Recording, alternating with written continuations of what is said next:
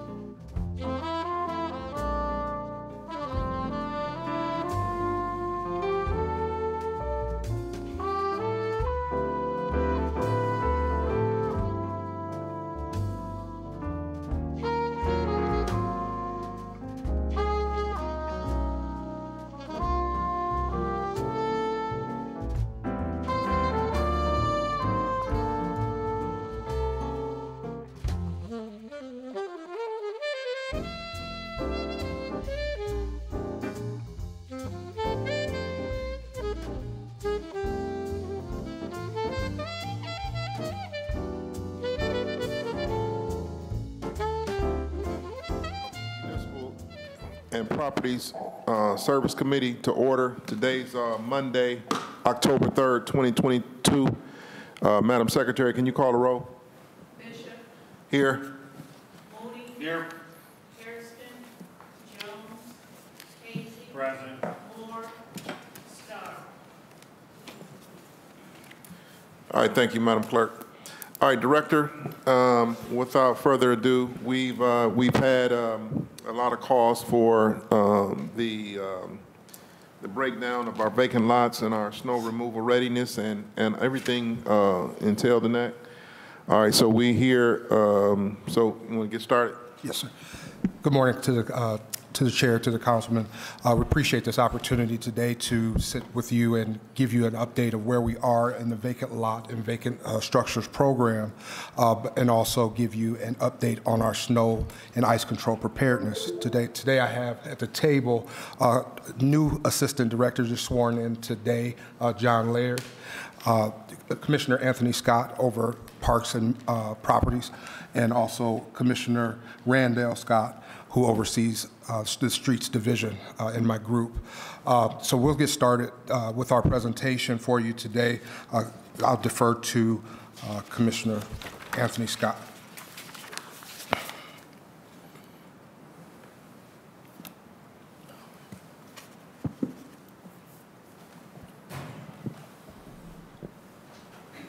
Good morning to the chair, to the councilman.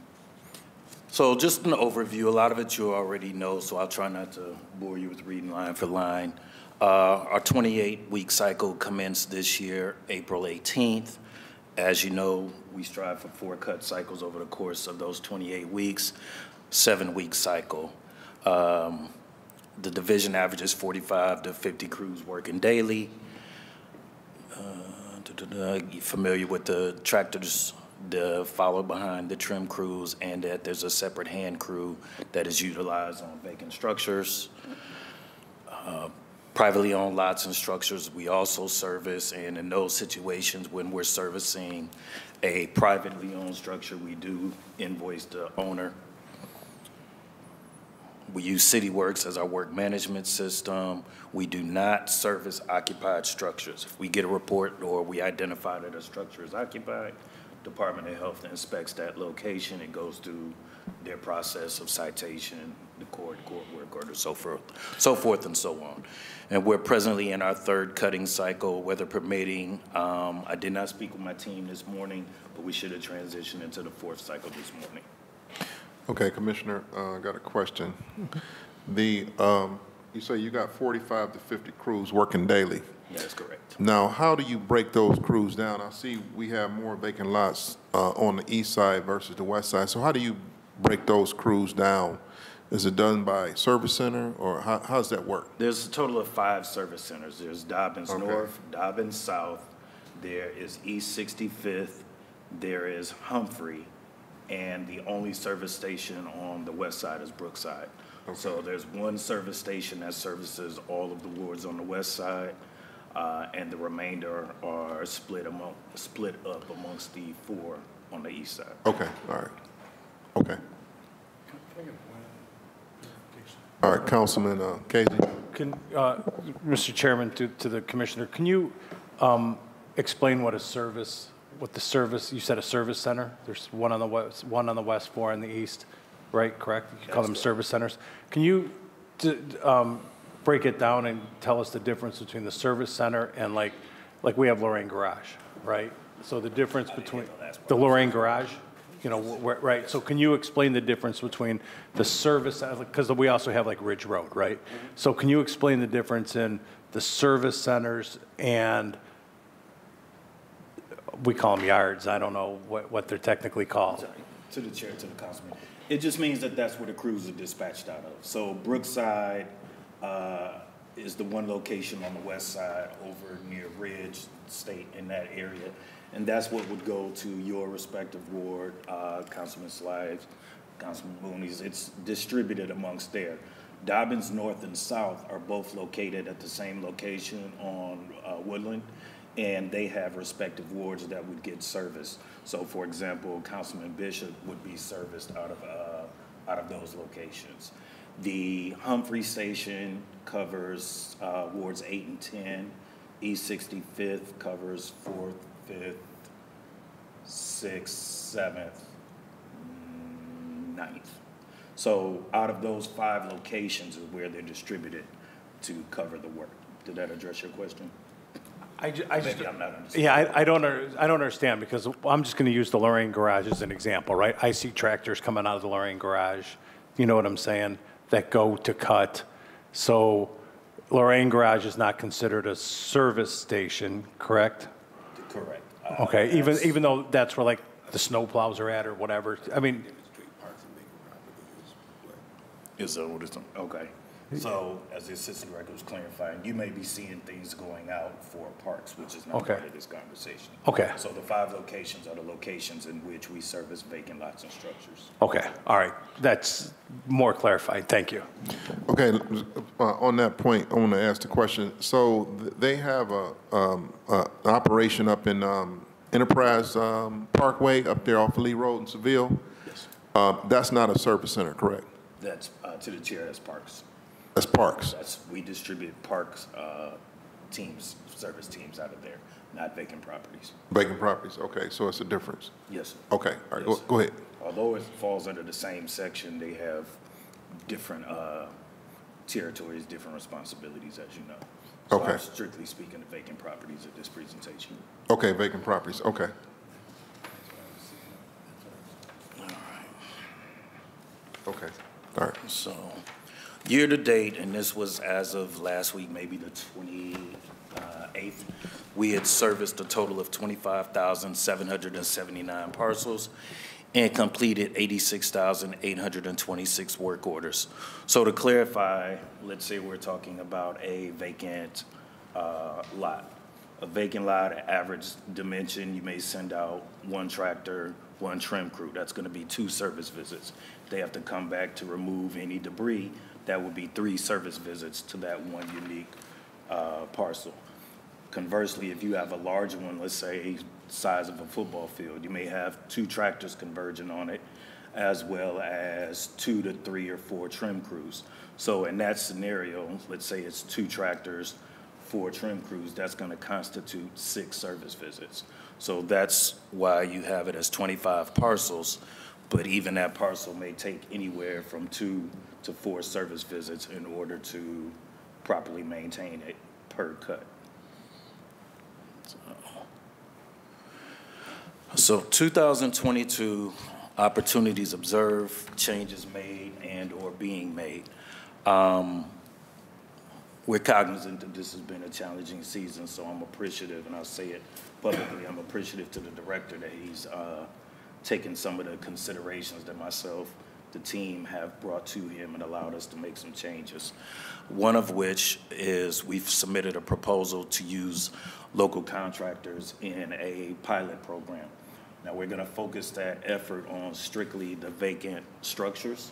So structures that actually have struct, well, properties that actually have structures on them, because that's a more manageable number.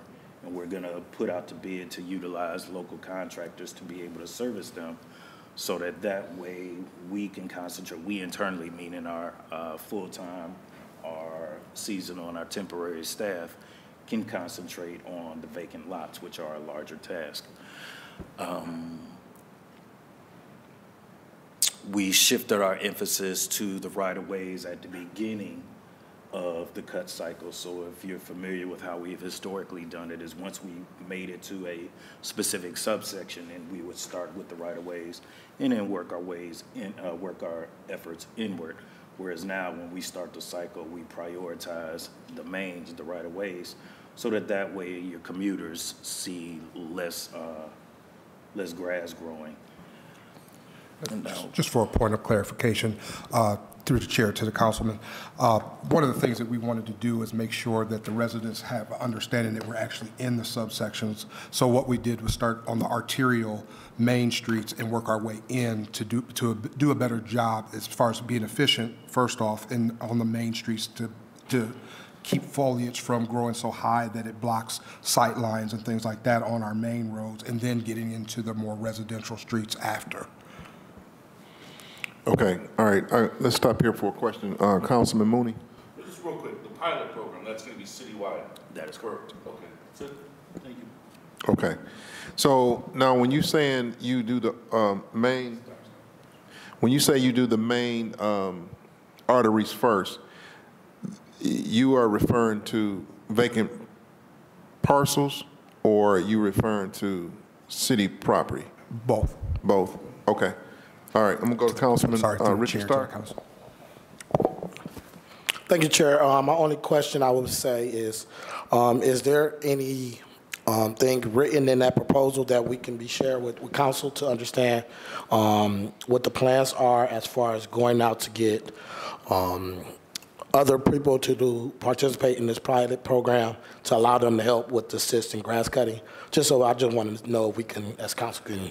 Through through the chair to the councilman, yes, there, there's a a proposal. It's still in its infant stage. Uh, We're working, waiting to get through this season, and then we'll be working on that throughout the winter. But the idea is to break the city up into smaller contracts so that we can be uh, attractive to uh, smaller companies, smaller landscape firms. That's, and that's also why we're focusing on the structures and not necessarily the lots, because they're so big. So we already have the larger equipment for uh, the lots, so we're going to focus uh, for smaller companies to focus on the structures. Thank you, Chair. Okay, all right, go ahead, Commissioner. Thank you.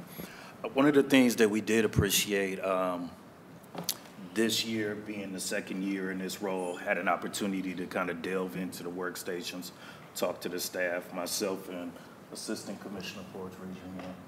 We went on our around the world, if you would, so that that way we went out to the various stations. And we found unfortunately some inconsistencies as far as how work was assigned, work was inspected, how some of the uh, managers would manage their crews. So one of the things that we did is we went to the director, said we needed uh, an additional position. So we were fortunate to get a position reactivated, and that's essentially the assistant manager. So now we were able to have better distribution of work, uh, more consistency in training. This is going forward. This is what we're doing now.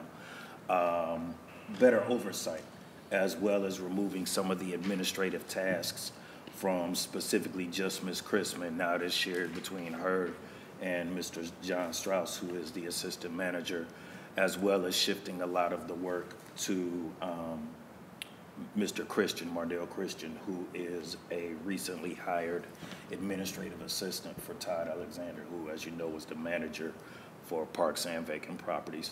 So I say all that uh, in aggregate would allow us to have better supervision over our crews, more time actually in the field to ensure that we're having a better performance, better productivity.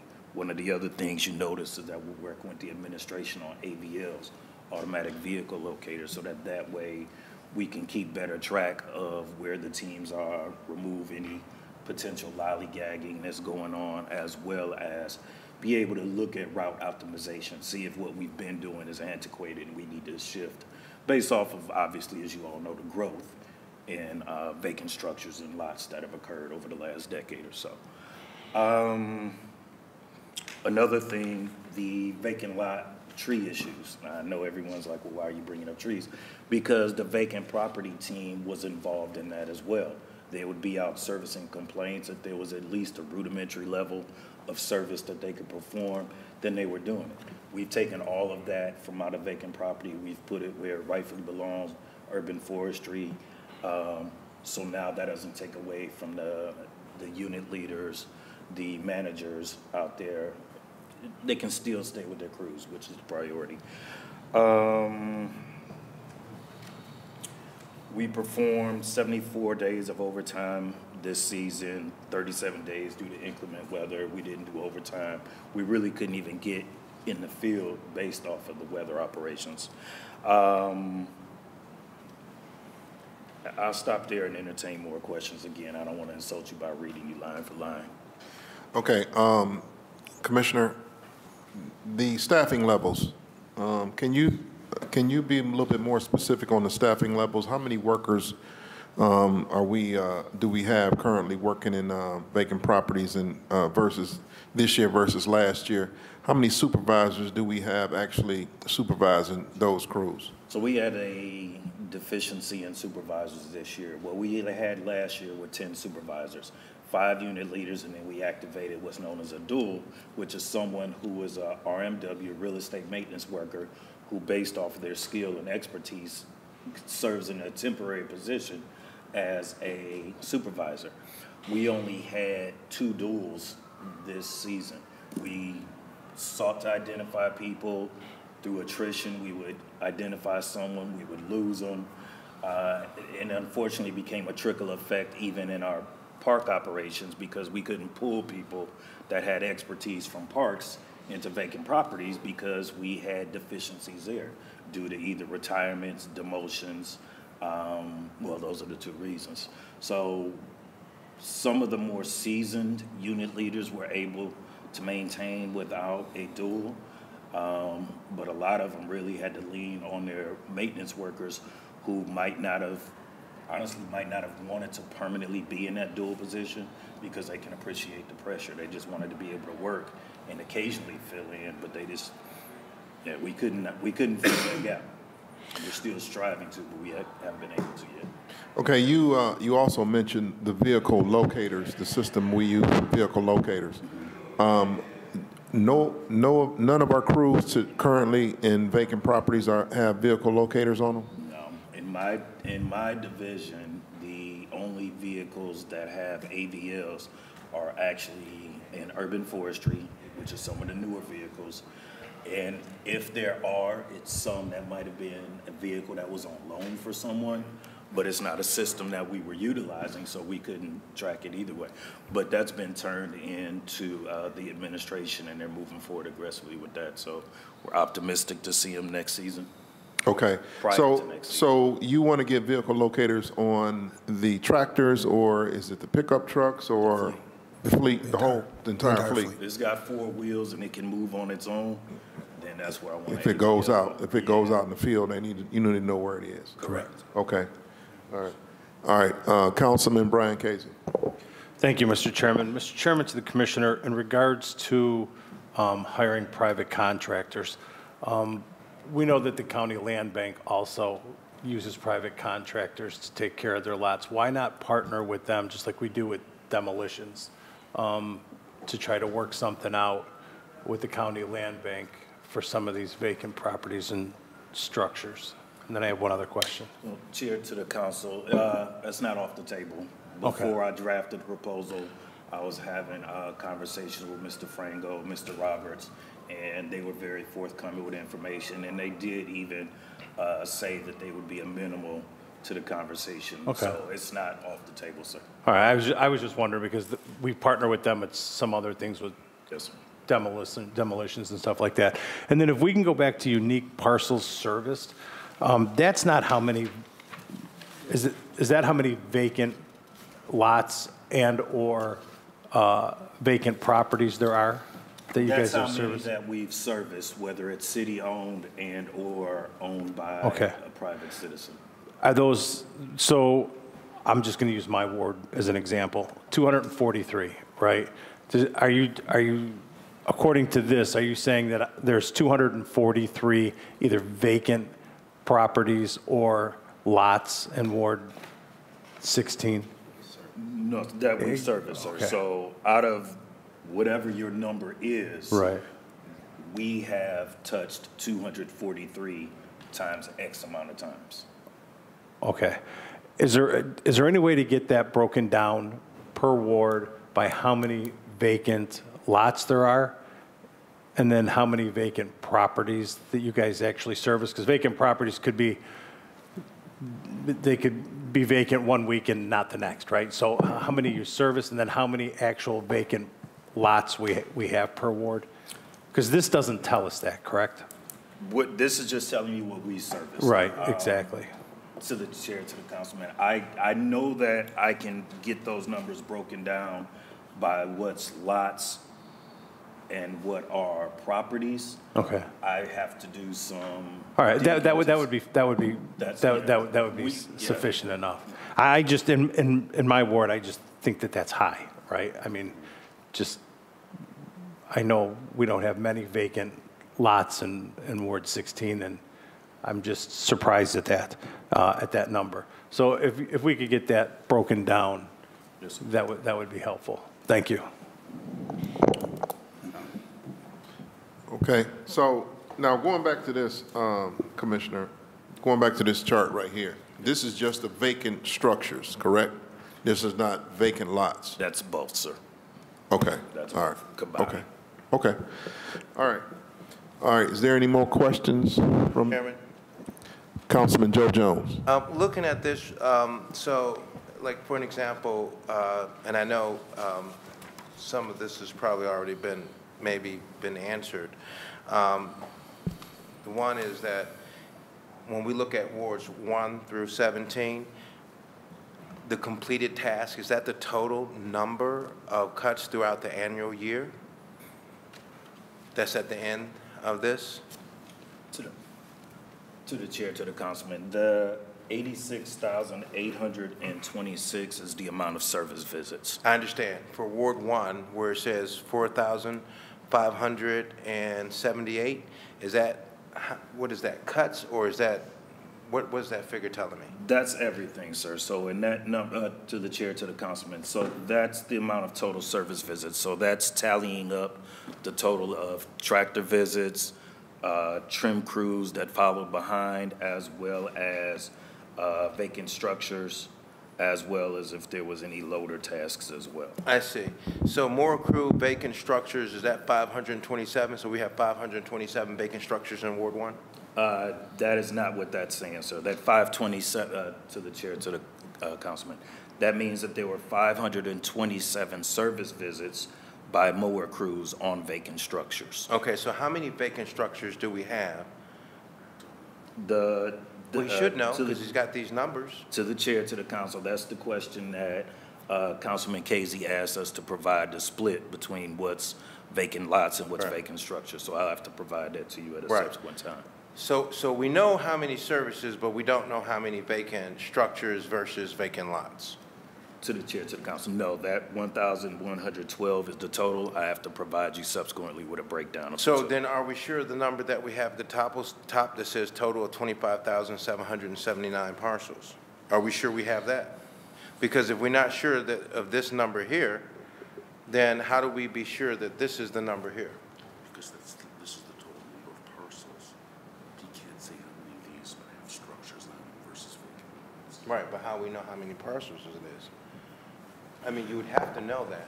I mean, th- th- th- Mr. Chairman, here's the issue at hand here, and, and it's, it's real simple. Um, If we're doing these cuts, our system should be able to tell us how many vacant structures that we have in each of our wards in order to tally these numbers.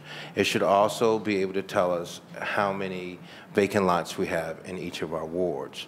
Um, So it, I don't, unless we're, I don't, I don't understand why there's such a gray zone here. To the chair, Okay, councilman, Commissioner. the numbers, we do have the numbers, I just don't have the breakdown in front of you, sir. I So I'll get it to you subsequently as to how those numbers are split between lots and structures. And, and you also have the locations of where all of those are at too, correct? That is correct. Okay. To the chair, to So council, can, can you give, uh, Mr. Chairman, um, a request of information?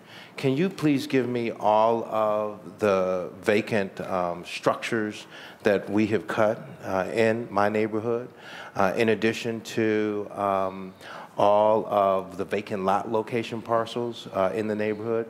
Uh, Mr. Chairman, to the commissioner, is there like a map that you work off of, a zoning, a system that tells you where these locations are? To the chair, to the councilman, what, what occurs is inspectors go out, they identify locations that are vacant, that are in need of service, and they input those in the city works to say that this is a service request that needs to be performed. So if I understand the question, you're asking, do I have a, a total of any and all vacant lots and structures in your ward or any of your wards? I do not have that. What I can gather is the locations of any lots or structures that we've serviced Okay. in your respective wards. That's fine. If, if we could get a list of that, of the ones that you've already serviced uh, in the neighborhoods, that, that's, that's very helpful. Um, And do you also perform services on commercial properties? We should, if it's a vacant structure, then we would perform uh, the same service if it's vacant. Occupied, no. So if, to the chair, to the council, if I may, so if there was a location on Miles that was vacant and they hadn't been performing their services, then we would service it and still cite the owner for those services. And, and then, Mr. Chairman, if, once you, if, once you've gotten that information over, that would be very helpful. Can you give it over to us digital, where we can be able to have a look at it on a, on a spreadsheet? Do you have it based on the spreadsheet? It would be, to the chair, to, it would be in an Excel uh, spreadsheet. And, and does it, it have the parcel number and the address too? To the to council, I have to follow up. I don't know that answer off the top of my head, sir. Yeah, all that information would be good because we want to be able to get that information to our local development corporation so that we can start looking at what's what in terms of what's available, what's vacant, what needs to be dealt with. And then if, if that could be made available soon, because we're getting together all of our issues for next year, um, we, you know, we want to try to get ahead of this and try to work with your department so that we won't have the same kind of scenario, unfortunately, that we've had under the former administration. Yes, sir. Um, so being able to get these lots cut um, and not have an, um, uh, the east side look abandoned in certain areas and depressing, um, it will be very helpful to, to begin to, to, to see where we can start targeting in and taking care of some of those issues. And then do we have a, who, well, I think we had that conversation, so um, I'll leave that one alone. Through, through the Mr. council- Chairman. Through the Go chair, ahead. to the Okay, go councilman. Uh, I did want to just make mention of, to your point, we have uh, been starting to utilize our work order management system uh, even more so throughout the season, but we do have a ways to go as it relates to asset management. And that's kind of what we're talking about now is like the actual unique parcels and things like that. So we're getting better at that, you know, throughout the season. That's kind of what I was mentioning, some of the improvements that we will be making over the winter as the season ends. And, and Mr. Chairman, just so that, so all of these for in an annual year on vacant properties as well as vacant lots, we're only able to get to them three to four times. The chair, to the councilman, yes, four service visits uh, over a 28-week period. Yeah, that, that won't work, Mr. Chairman. I mean, th- this is, this is horrible to uh, be able to cut a vacant lot or a vacant structure only four times out of a year. I mean, I cut my grass once a week. So you're telling me that you won't be able to cut this grass, but three times, if lucky, get maybe a fourth hit? That's just, that's not. Mr. Chairman, if we continue with a program like this, um, uh, we're going to continue to see people run out of our neighborhoods. Um, no one wants to live next to a vacant lot or a abandoned structure with five foot, six foot tall grass. I, I don't know anybody in their right mind who wants to live in a neighborhood. And if you have two or three, four, five of them on your street, you're in a mess. You're, you're really, you know, it, it really looks bad. And, and Mr. Chairman, you know, to, to further, you know, deliver the, the, the, the, the message here, is it's sad that a councilman has to go and get a lawnmower and cut the grass. It, it, it really is sad for a, an elected official who's calling in to the administration, and this is what I've had to deal with when I called in to Cox uh, about getting grass cut. Uh, well, it is what it is. We only can go but so fast. We'll get to your ward when we get there. And I've had to get on my riding lawnmower with my trailer. Just so happen I run an operation where I can do this and go out and cut vacant lots in my neighborhood just to make sure that my citizens are happy, that something is getting done. And it's unacceptable for a city that has a 1.8 billion with a B budget uh, to not be able to go out there and get those grass cut in a more efficient, effective manner. So are we saying, Mr. Chairman, that we're going to accept three to four cuts again? We're going to sit here and, and take three to four more cuts again? Is that what we're talking about, Mr. Chairman? Well, Councilman, you, you know, we, we first have to let the, let the administration work the kinks out. Uh, this is a new, this is a new team, so to speak. Uh, I agree, um, that three cuts is not enough for our citizens. Um, uh, Director, you say the program starts, that you, your cutting season starts at what, what, uh, what, what date? Chair, it was April 18th this year. Okay, so, uh, you know, and uh, I, and I guess everybody knows at the table that in the spring, the grass grows a lot faster than it does in August and in uh, September. Uh, Is there a possibility that we can get started a, a little, uh, little earlier in the season? Uh, Because I know springtime, I get beat up in my neighborhood because of high grass. So have you thought about that, Director and Commissioner? Through the chair, uh, yes, we have, and we will be taking that into consideration as well.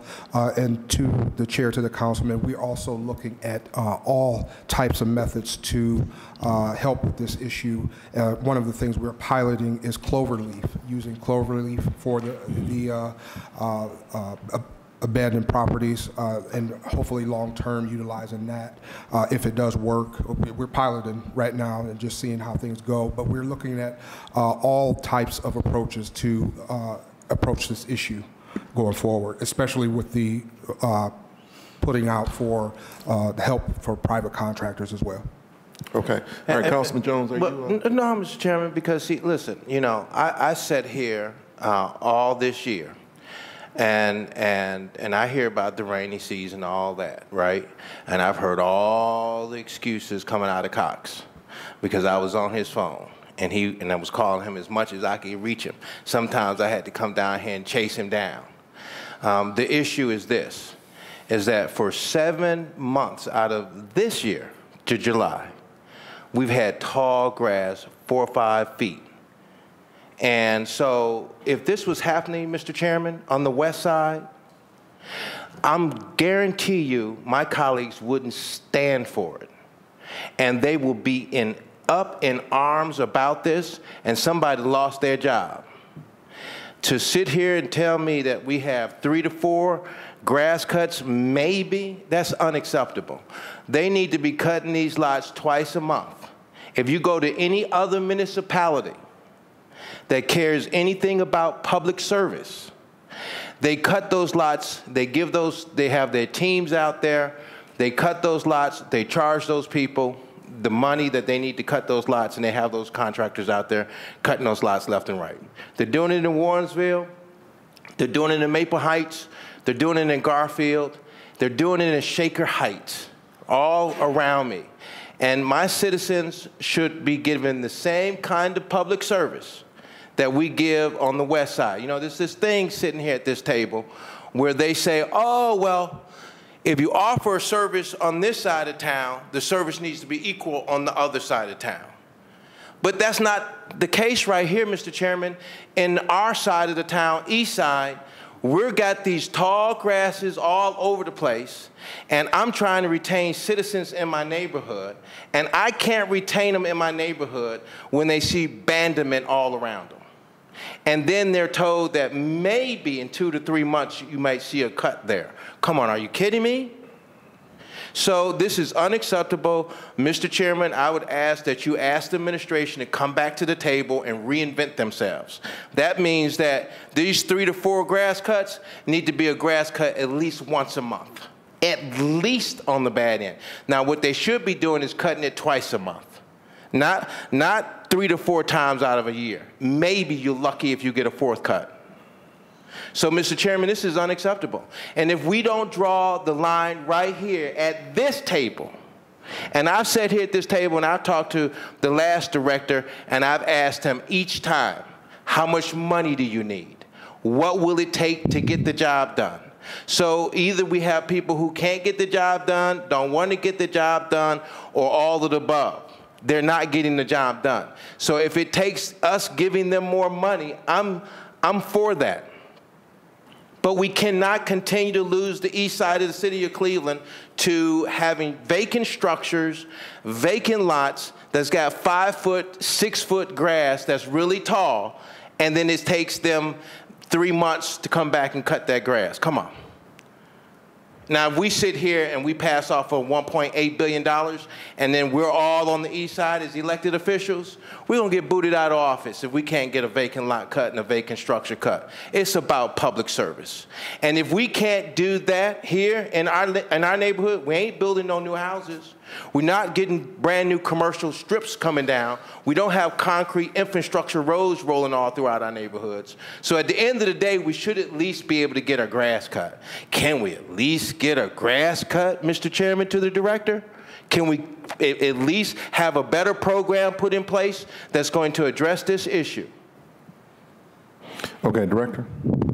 To the chair, to the councilman, uh, I do hear your concerns, and we are, I've gotten here in May, and we have made some uh, changes that may not necessarily uh, be reflective yet this year, but again, I do think that it's a multifaceted approach that we will have to take, uh, whether it be supply chain, whether it be staffing, whether it be process, whether it be uh, utilizing other contractors, help from other partners. I think that the, the problem, because the actual inventory is growing, and so we, we have to adapt, and, and that's my charge to do that and lead that effort.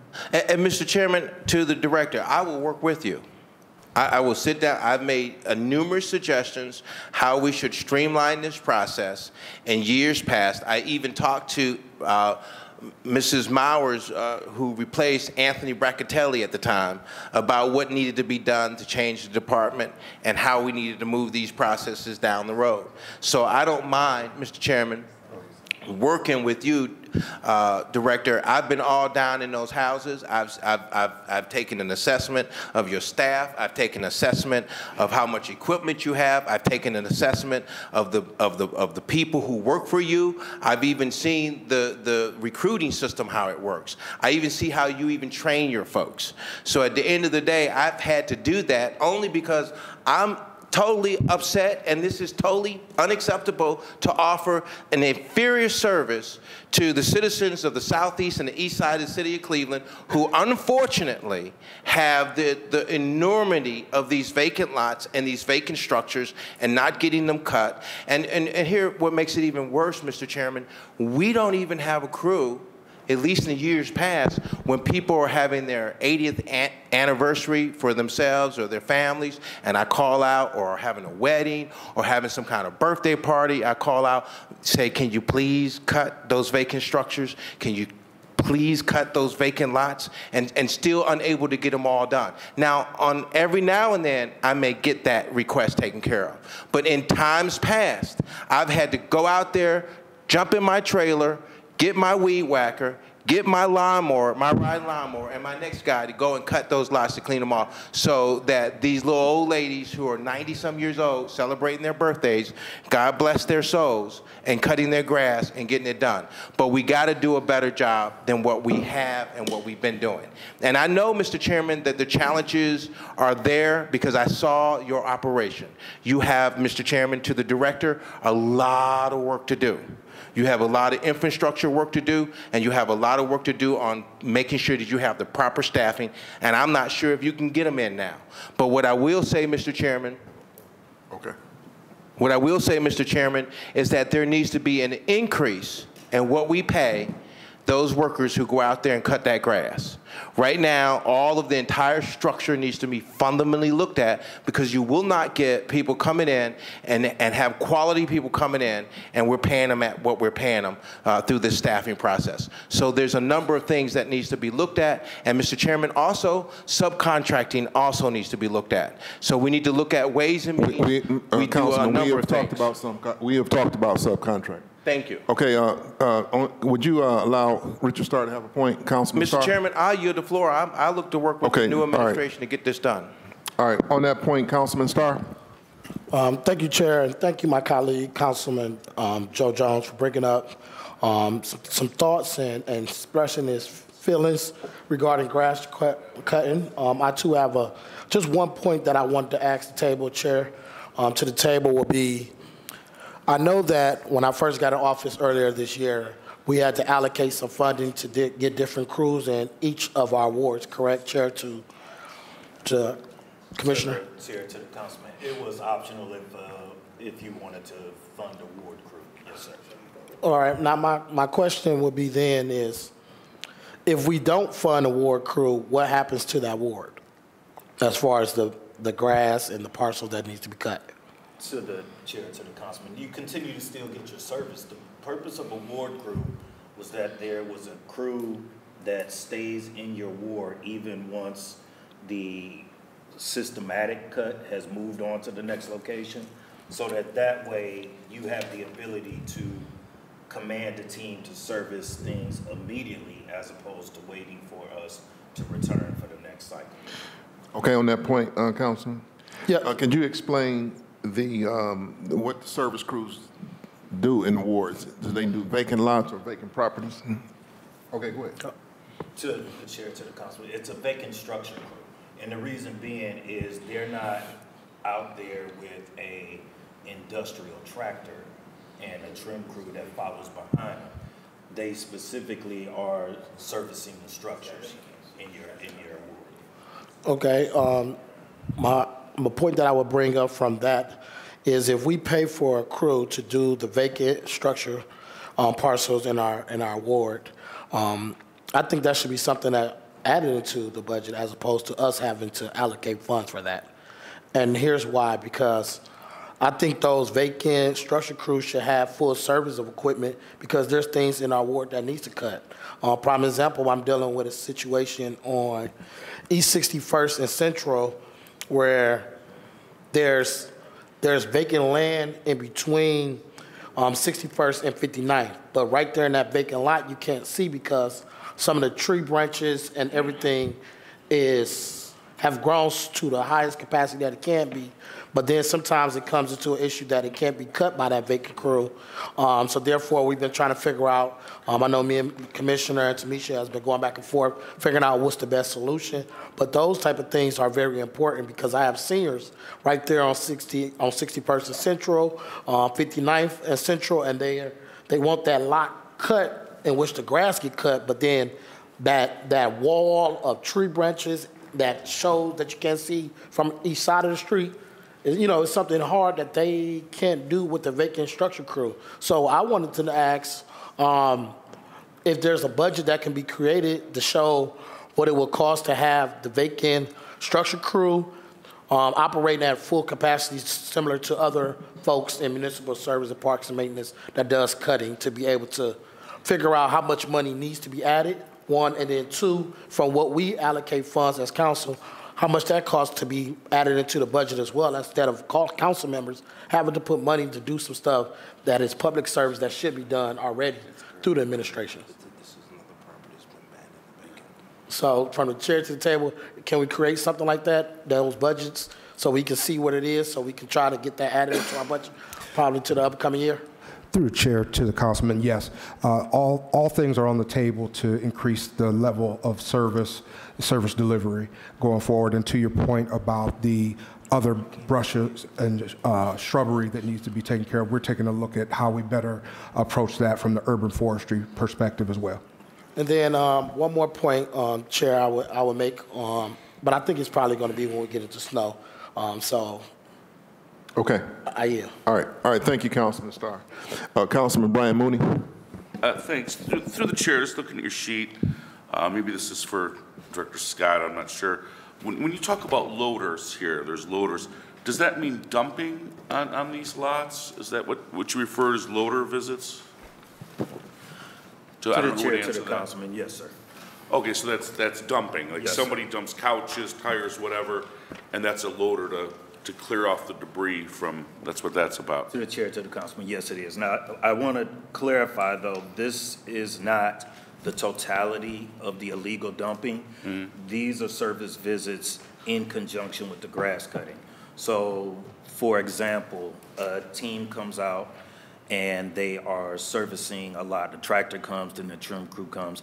They will take any debris, large debris that they found, bring it to Commissioner, the. Commissioner, can you uh, pull a mic up to you? Um, sorry, to the chair, to Councilman.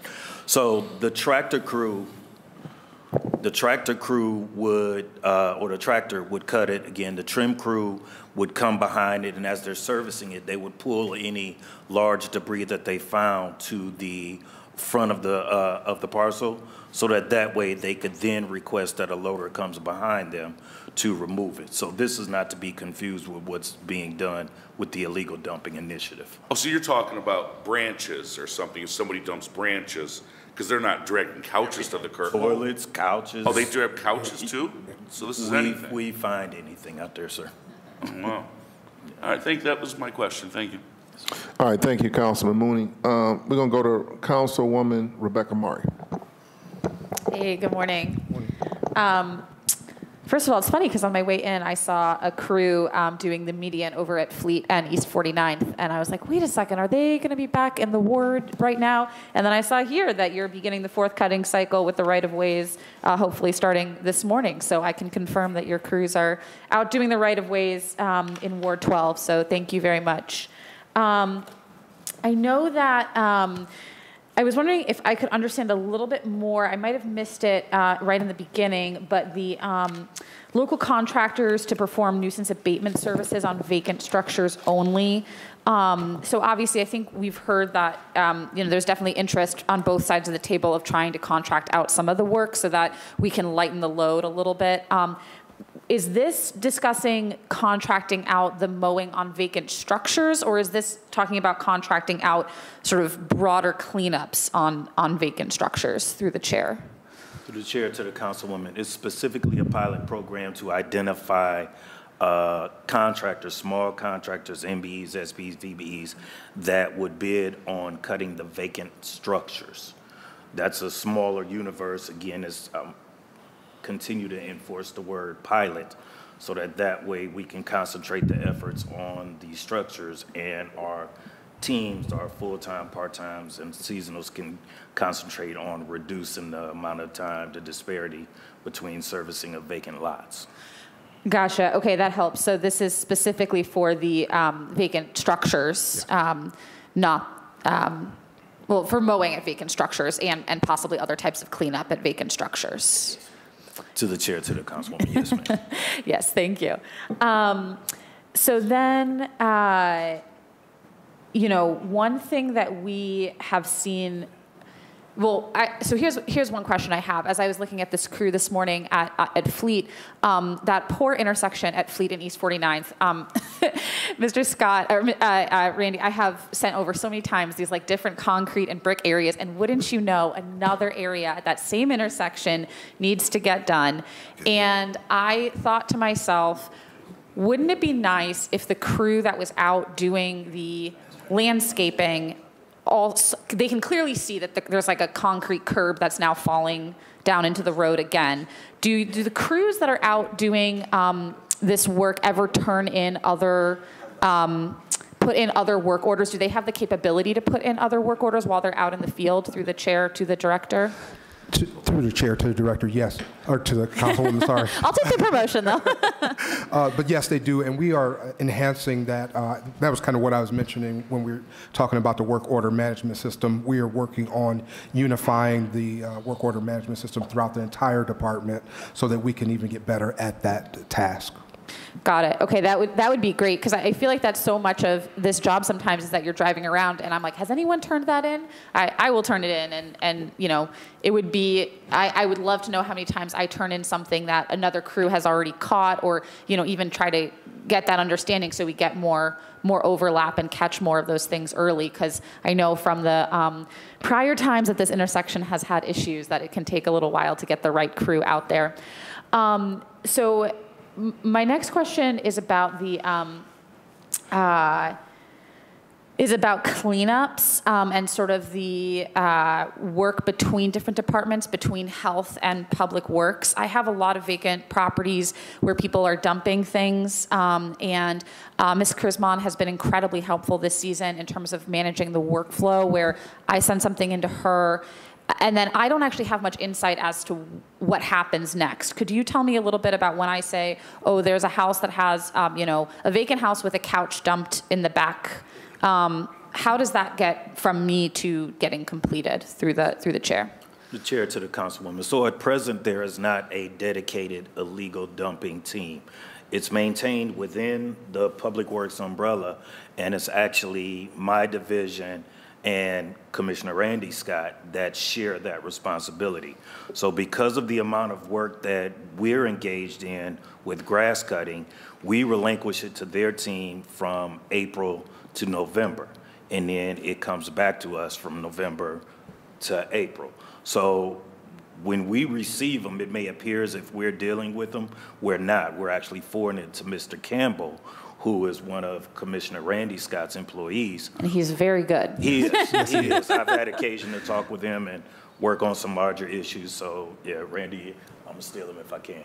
Um, But to that end, so if it's a smaller task, so as, as you saw with Councilman Mooney's question about the loaders, if it's a smaller task, I usually tend, particularly if I have seen the location or you, your office, and many of your offices will send in photos. If we can assess that it's a smaller issue, then we'll address it so as not to bother Mr. Campbell and his team. Larger issue will route to Mr. Campbell. Gotcha. So does that mean we're losing Mr. Campbell in November? It goes to somebody else next month? It'll come back to us. Okay. Through the chair to the councilman because he, we need him for snow and ice control. He helps with that. Oh, fine, fine, fine. I guess that's important as well. Um, okay, so uh, last last question is just this point about the um, Project Clean Crews and the tractors. Um, you know, I I wonder is is there any as you kind of think about the next iteration of that program, and I definitely agree with Councilman Starr that I hope we can find a way to provide this sort of additional service for the wards without it having to be paid through, you know, individual ward funds. Um, one of the limitations, of course, has been tractors, right? Um, so that's something you mentioned. I, I have a, um, I have a lot. I have, I have five, I have five consecutive vacant lots that I would love to just uh, get a second mow on before get a, get another mow on before the end of the year. But I probably can't because there's not a tractor for the Project Clean crew. Um, through the chair to the director, is that is that my understanding? Is that correct that for those larger lots? the Project Clean crew can't engage with those?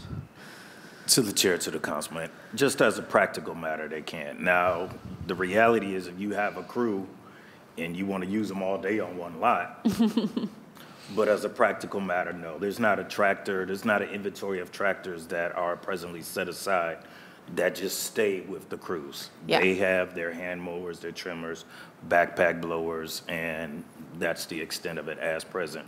But to quote the director, anything's on the table at this point.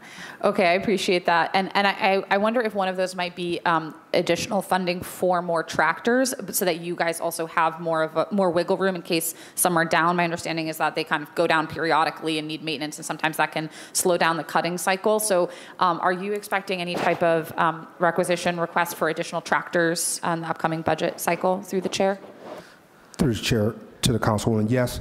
Uh, Keep it in mind that we are experiencing supply chain issues that are impacting all of uh, the departmental equipment needs, uh, but we are uh, expecting to increase numbers as, as necessary. Okay. Um, and I'm sorry, I keep thinking of more questions as I as I go. So I, I thought that was gonna be my last one, but then I have I have one more. Um, the uh, the contracting out for vacant structures. Are there any union issues with that? I know that you know unions are the, union folks are supposed to be the ones cutting the vacant lots. Is there any issues with um, outsourcing the structures themselves? Through the chair to the councilwoman, there could possibly be, we haven't gotten that far yet, but we are taking that into consideration as we're preparing uh, the pilot. Okay, great. Thank you so much. All right, thank you, Councilman Maurer. Uh, Councilman Brian Kazy. Thank you, Mr. Chairman. Mr. Chairman, to the Commissioner, if we could just move real quick to um, billing and collections, right? When, when we cut these, these lots. Now, we know in the past that the county would only let us access the tax duplicate once a year, right? And then what that does is that opens up the flippers and the LLCs prior to getting their assessments to flip the properties, and then we're, we're out of luck again because now the property is no longer in the name and we can't find anybody. So how successful have we been, we'll just say in the last year, at actually assessing um, the uh, bill to the, to the property owner. And then also, to piggyback on that, I'm not saying for, for homeowners, right? Um, I'm talking for property investment owners, more specifically the out-of-state ones. Have we ever considered, or are we considering um, liens on those properties um, prior to the sale of anything? Through through the chair to the councilman, uh, keeping in mind that the Department of Public Works, we're more of the doers. That's Right. pretty much outside of our group, but I can get you that information, though. Okay, so it's not the Department of Public Works that actually bills, you guys send it through? To the chair, to the councilman, we send it uh, twice a year, actually. It's twice a year. It goes to the Division of Assessments and Licenses for the city of Cleveland, and thereafter, it's in their hands to process. The only part that we're engaged in, as the director said, obviously, is the doers. And if it's engaged in any kind of protest process before it goes there, that's within my office. All right, so we could get that from assessments and licenses then? Okay. To, to the, to the, uh, from, to the chair, to the, the councilman, we, we do lien, but we do have to get a clean lien, to your point, and it is a, a matter of time. So you have this short window of time where we are actually sending, assessments and license sends information over to the county, and we actually, if they still do it, they have a log where they keep this information, and people, if they're gonna buy a property, they, they know that a lien is coming. Okay. So they do lien the property, and most of the collections that we get from the county comes from those liens. Okay, all right. And then, thank you very much for that information. Um, If we could just pivot real quick, you have, you said before you have 45 to 50 crews that, that are out working. Um, How many people are in those crews? How many, how many people do we actually have out there on the streets doing the work? Right. To the chair, to the councilman, the crews are traditionally two, at most three people. Okay. So tractors, obviously, uh, one man, one woman team. The trim crews, two to three employees. The vacant structure crews are almost always two employees. And those consist of uh, almost exclusively the temporary employees that we use. Okay. And then if we could just touch on real quick the, um, the disbursement of those crews, right? Because um, we know that, for example, the southeast side of the city of Cleveland received over 13,200 completed tasks this year, right? Where the far west side of Cleveland received less than 1,000, right? So how do we go about dispersing those crews when there's certain sections of the city of Cleveland that needs a lot more tasks to be completed than others. So, which, which is showing more, I know there's more work to be done, but that's also showing more attention to those portions of the city of Cleveland. I wish nobody, I wish we didn't even have to have this, right? I mean, that would be the ultimate goal. But how do you go about dispersing these 45 to 50 crews, right? And you're saying that it comes through every seven weeks. Um, How does, how do you guys manage that portion of, of your crews? If we're optimally staffed, then you'll see, let's, we'll use 50. Then you have 10 crews that may go out from each of the five respective sections. What we find ourselves having to do is the work that is being done in one area may be more than what they have. So we do have to periodically pivot and move teams to other sides. It's happened with uh, Mr. Strauss, and we've used his teams on the east side in order to make sure that they can keep up because the workload is higher. But in a perfect, perfect situation, then they're optimized across the, they're, uh, they're balanced across the five stations. All right, so you, for example, you could take the Brooks, the Brookside people, the crews out of there, and they could go to the southeast side of Cleveland and be working way over there, even though there's four other stations on the east side, correct? Potentially, that could happen. To the chair, to the council, there's one week I recall that we actually used the Brookside crew. We actually permanently situated them on the east side for that week so that that way there weren't issues of trying to deal with traffic back and forth. They just went and reported there. And we may have maintained one or two crews at Brookside to deal with uh, happenstance that may come up and then also uh, right of way in order to hit that. But then it's, it's one of the things we've had to be more uh, intentional about this year, seeing where we need to move people because of deficiencies, staffing, equipment, so forth. But it, it does happen from time to time, yes, sir. All right, and then my last question, Mr. Chairman, to the commissioner. Um, Is staffing an issue? I mean, all, I mean, you're saying we have probably anywhere between maybe 100 and 150 people out there taking care of all these vacant lots and structures, right? do we have enough people? Are we trying to get enough people earlier? We know the city has a problem hiring anybody, right? It could take months and months to hire somebody, even if they're temporary. Are we starting early enough so that when that April date hits, we're ready to go on the ground to take off? So to the chair, to the councilman, uh, I appreciate that question, and no, we never have enough staff, never. For optimal performance, and by optimal, I just mean with what we have in front of you, we would need 150 temporary employees. There was a point within the last three weeks that we only had 100. I mean, it's a constant process of attrition. We deal with a lot of discipline issues. We've had, I believe, year-to-date, eight training classes for, uh, due to attrition. Now, the first three are given. That's getting large volumes of crews onboarded, getting them out. But then we've had to have five more. And again, that's year-to-date. The season isn't over. Last year, we had nine, uh, which was still clearly horrible, but across the whole season.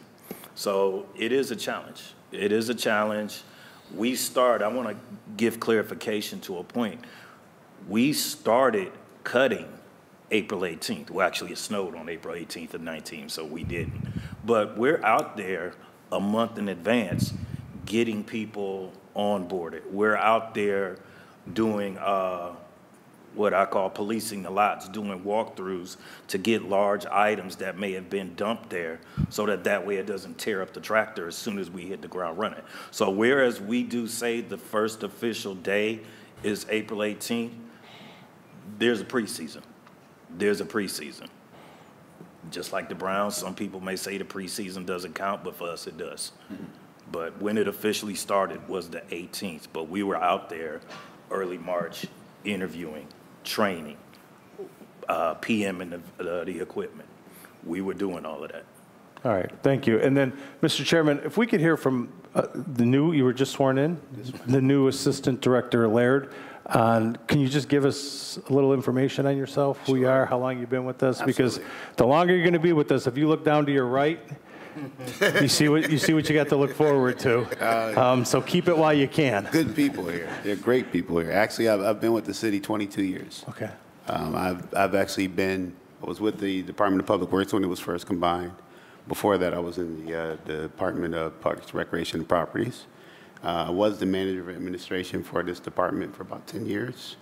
Um, before that, my previous life, I was the deputy commissioner of park maintenance. So everything that the commissioner here is going through, I'm kind of been like a, a shadow mentor, if you will, uh, to the to him on that. Um, but that's so to the director's point about multifaceted approach to the properties. It, it definitely is. There is one thing I, I and I know you as counsel understand this, but one of the things Please, that please, you could talk into the mic. Sure, I'm sorry. One thing I know you understand that as, as council, that one of the biggest issues that we have with vacant properties is that these properties belong to other people. And we have become over time, this was a very small program 20 years ago, where we were only dealing with vacant lots. And then over time, we realized, this council also realized that, hey, there's a bigger issue out there. And we started taking on structures and we started taking on, and then, you know, the whole recession hit. And that landscape of what we had 2,000 properties turned into, as you saw, see 25,000. And so there, there really are other issues that have to be, yes, we have to cut the grass. Yes, we have to do better. Yes, we have to get better deployment. But there are other things about what do we do with this land? Once we, once we, you know, are we going to just keep being the landscaper? Are we going to think about other people taking it over? We have to talk about other, do we need to, how do we penalize people whose land this is and they just walk away from it? What are the, these are the multifaceted pieces that the director is saying that we really have to delve into if we really want to see a holistic solution. But I totally agree with this body. We've got to do better, and we are going to do better. But I do think that there are so many pieces, uh, partnerships, all these things have to work together for this to work, and, and that's what we're, moving towards.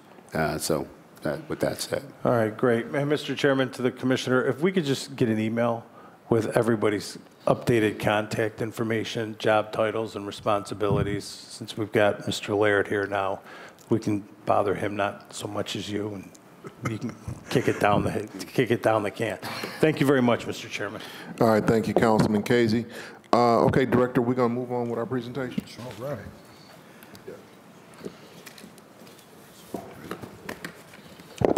And I hope that Tamisha gets a nice long vacation after the season is done. She fields a lot of emails from me. Director, um, Director, before we, before we go on, um, Councilman Jones have some co- um, cost questions about the cost of the vacant properties and vacant lots. Yeah, Mr. Chairman, thank you. Uh, Mr. Chairman, to the director or the commissioner, um, how much does this program cost us to cut vacant lots and vacant structures? I- I can, I can tackle, I can tackle that. Um, Budgetarily, with combining these, the uh, general fund dollars as well as CDBG funding, uh, about three to four million dollars. And that's not including equipment. That's just labor. So again, the, the equipment piece has a whole different cost, the capital piece to it. Um, so depending, we, um, we don't, we borrow trucks. Um, we don't have enough tractors because of supply chain issues. So right now, the number I threw at you is just labor. So anywhere between three to three and a half to four million dollars for labor. And, and Mr. Chairman, to um, the director, can we get a, a, a budgetary breakdown on what that means? You know, and then if that's possible to know exactly what, how much equipment is, you know, what that's, what's that budgeted for? Uh, and then as well as, I know that we have staff that, that's in-house that does the work. So having a breakdown of what that looks like. And then you also have seasonal, correct? And then what, what does that look like? Uh, and then, that- and if we could have that, you know, and then maybe, you know, sit down and take even a further look, because Mr. Chairman, um, to the director and to the assistant director and the commissioner, we have to do better. So I know that you guys are working on, um, the, which I, Mr. Chairman, I applaud the administration on looking at a hybrid type program to go and deal with actual structures. So hopefully, Mr. Chairman, to the director and, and the commissioner and an assistant director, that um, this may give you some relief where your existing staff then can focus all on those vacant lot structures and uh, hopefully have a better turnaround on that, um, that proposition. And then, Mr. Chairman, um, how much would be the breakdown? How much is it actually costing us to cut a vacant lot? What is that actual cost factor? And then what is the actual cost factor for us, Mr. Chairman, uh, to the director to um, cut structures? So structures and vacant lots. So how much is it actually physically, fundamentally costing us each time we put a person on those lots and cut them? Unless we know that already, Mr. Chairman. Through the chair to the Go- councilman, right. we will, be- we will we will prepare that information and send it over. Right. And then, Mr. Chairman, that helps us to understand how, as we move down this process, what that looks like. Because if, if, if it's God's will and we're successful with um, uh, putting this out on, the- on, on, you know, uh, on the market space, um, it'd give us a better idea if we're even making any savings on this. And then also, Mr. Chairman, it would give us a, a better look um, at if we need to put more money into the actual program so that we can increase this uh, to at least eight cuts, um, one cut at least uh, a month on these structures and these vacant lots. I think that's the least we should be able to do here. All right, thank you, Councilman Jones. Okay, uh, Director, we want to move on with the presentation. Thank you, Mr. Chairman. Good morning, Mr. Chairman, Council. We're here to talk about our readiness for snow and ice control for the upcoming season. Uh, We have, uh, since Director Williams has been on board back in June, earlier this June, we started a process of of improvements that we're going to highlight today. Um, One of the things we started already doing is having biweekly meetings with our supervisors and our drivers to talk about some strategic plans in terms of moving forward and getting ready for this year's snow, uh, snow and ice control. Um, When you talk about equipment, we've already started back in June getting equipment ready, doing the necessary body bolt checks and the preventive maintenance stuff through our MVM division that we need to do. Uh, Pretty soon, as of, actually as of uh, Friday, we started putting the plows on the trucks and testing them to make sure that they're working properly and the inserts are working properly. So you're going to start to see training as well, uh, drivers going up and down the street with snowplows on them while the sun is still shining on both sides of the street. So you'll see that pretty within the next few weeks. Um, as far as equipment is concerned, our frontline equipment, we have 60 tandem and single axle trucks with salt spreaders. In addition, we have 11 road graders, 13 pickup trucks with plows and salt spreaders. We have uh, four front end loaders that are plow, have plow equipped on the front. And then we have some medium-sized utility vehicles for specialized plowing, such as narrow streets, alleyways, and, and uh, really tight subdivisions like Mill Creek, for example. In a very heavy snow event, we will add additional resources from Cleveland Water. They have, uh, they, right now they have five plow units currently, they, tandem plow units that they give us. Uh, the, another five are being uh, equipped with plows as we speak. Uh, water pollution control will give us four units with plows. Traffic engineering has four units to have salt and plow capability. And these are smaller pickup trucks, but they're heavy-duty pickup trucks that can get through heavy snow. And then we're also in the process at, one of the council concerns is why, why we're using waste collection vehicles. So we're piloting in a program with a couple of waste collection vehicles to see how that works out. So altogether, in the heavy snow, we plan to be able to put out about 112 units if need be around the clock, 24 hours on, on uh, 24 hour shifts. Uh, driver training, as I mentioned, starts October 31st, and that'll be the focus will be the first and second year drivers. So you'll see, if you go by Muni Lot after October 1st, you'll see some um, trucks down there training like you do. You see police cars down there training for when they when they're going through their process. We've already received our salt deliveries. We're at total full capacity with 23,000 tons. The salt is stored at seven different locations throughout, strategically throughout the city. Um, And any of our stations can go, to any of the six stations and get, or seven locations and get salt uh, on a round-the-clock basis during the snow event. So we have plenty of salt on hand and de-icer. As far as drivers and staffing, I appreciate this administration allowing us to increase staffing. That's going to really help. Uh, we're going to go from a regular 94 uh, seasonal drivers on top of the 33 full-time we have. We're going to bump that number up by 26. So we're going to put on an additional 26 drivers for our second shift, which will now, we'll have three full shifts uh, on all three shifts. So instead of having a half a crew on second and using overtime, we're going to reduce overtime. We're going to reduce employee fatigue by adding another 26 drivers. We're about seven drivers away from that goal. We started back in June recruiting. I personally thought it would be tough to meet that goal, but I'm pleased to say we're, we're only seven away. So I plan to have those guys on, or ladies, or guys or ladies on by November 1st. And Commissioner, these is all, these all are full-time drivers, or it's a mixture? These will be full-time seasonals. They'll work a 40-hour week, Okay, but they'll be in the seasonal category. okay. Uh, they'll, they'll probably be discontinued sometime in, in April, a, a good amount of them. Um, as I mentioned earlier, we did some, we learned some lessons from our last major snow events about narrow streets, alleyways, and residential subdivisions. So we've implemented a specialized crew with specialized right-sized equipment that will go be able to go into those Mill Creeks, into those beacon places, into those little areas like that, the little place you got over there off, uh, I think that's a, that little apartment building over there. So Thank you. we, we're, we're very conscious of the service needs and the size of our equipment and being able to get proper service to those areas. So we've implemented that as well. Uh, there has been an increase in the vehicles. We went from 58 frontline vehicles to 60. We added one new single axle truck and one new tandem axle truck to our fleet, and we'll be making sure that everything is organized properly. Uh, one major issue, major initiative, I should say, is the snow route optimization, and I'll let Director uh, Williams, if he will, speak to that.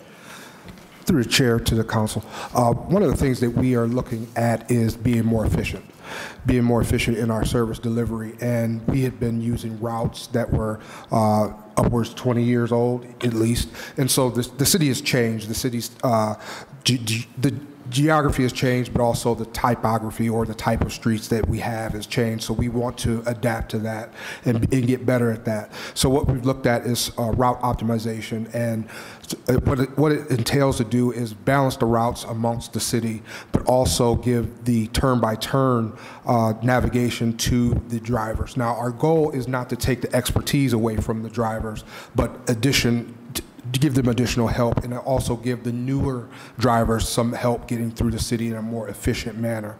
So route optimization doesn't fix everything, but it does give a, another tool in our arsenal to be able to provide more efficient service delivery. And where we should see that really help us is when we transition from the main streets into the residential streets and give that service delivery a little better than we had before. This will be a initiative that will take throughout the winter to master as we as the uh, uh, company does balance our routes. We try them, test them, get the feedback from the drivers, seeing what's working, what's not working, uh, and then we keep um, optimizing throughout the season to get better. Uh, so it will be a, a, work in progress, but one that I think is going to be very beneficial to the city long term. Okay, um, Director, I got a question. Now, when you mentioned the, the route optim, optimization, um, when you switch shifts, so when you go from first shift to second shift, we in a heavy snow. Um, is there a way where the second shift route driver will know exactly what's not covered versus, you know, I'm just trying to guess what's what's going on? That's correct. Uh, to, to, the chair.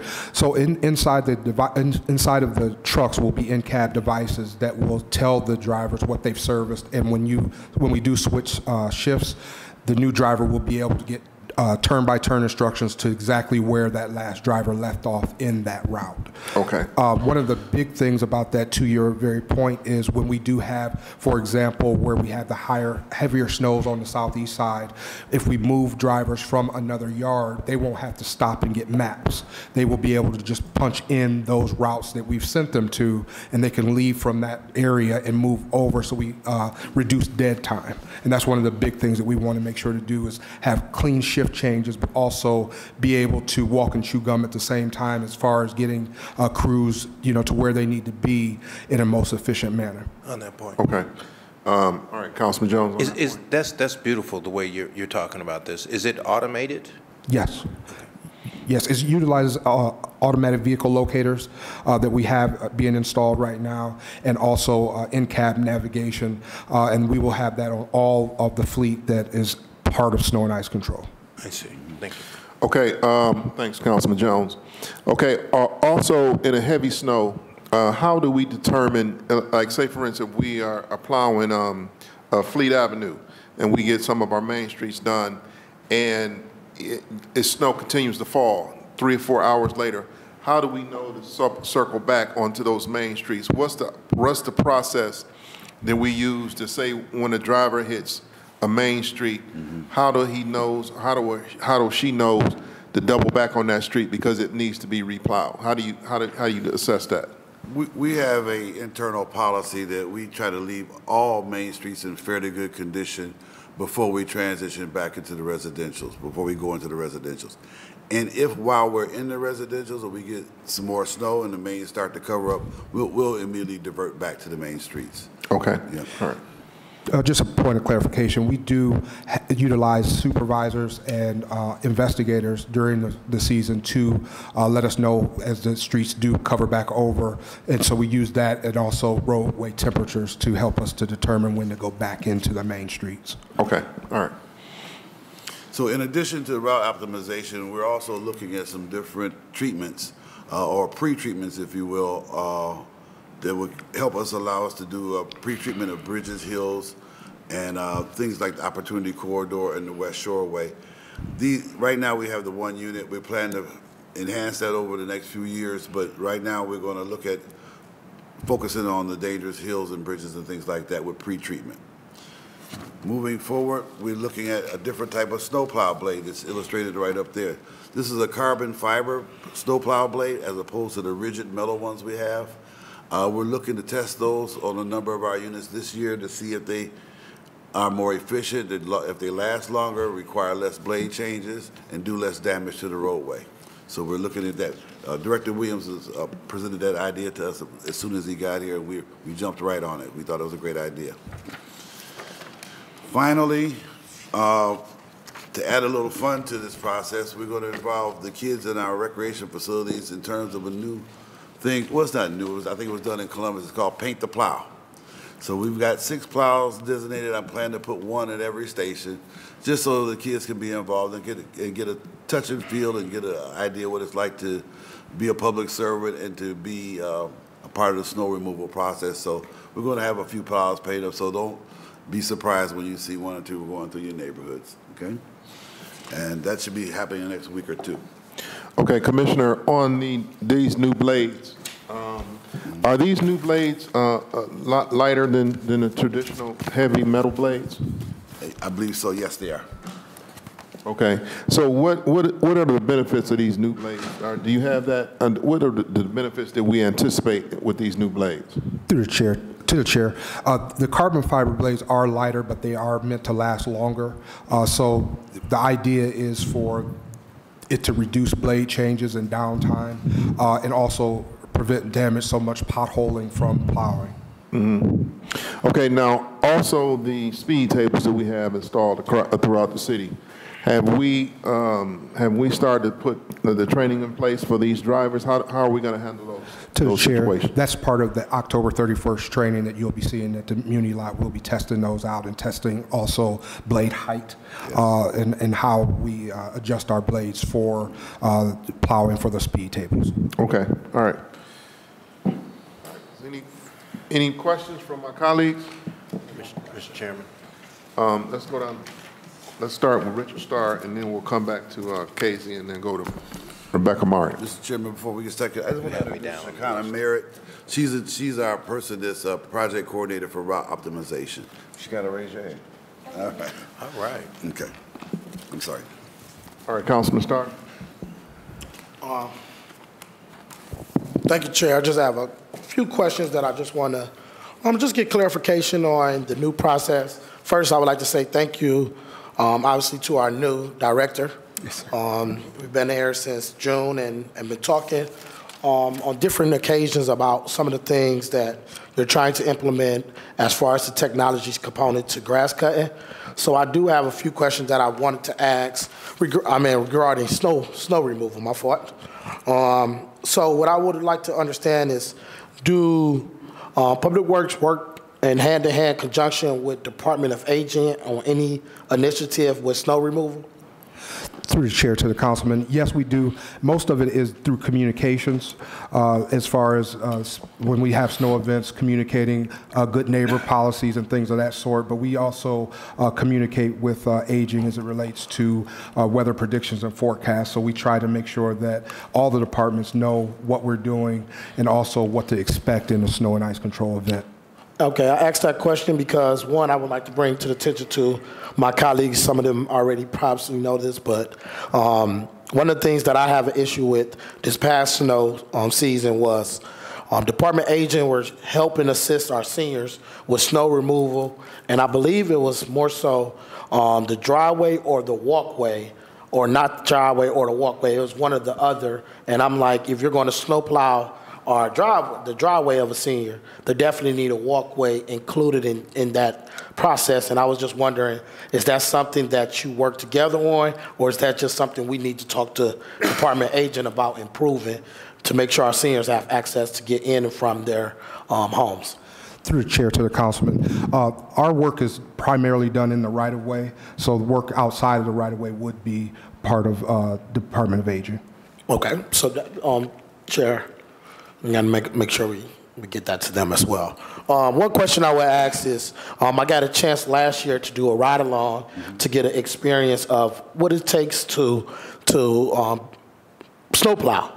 And, and something that was interesting for me to see the amount of work that one individual has to do um, while we're operating the snow truck and making sure that seasonal staff have enough time to train. So my question to the chair would be, I mean, to the director, um, through the chair would be, if we have full capacity of staff, how many seasonal staff employees slash full-time employees do we need to manage um, a snowstorm or, or to operate during this um, snow season?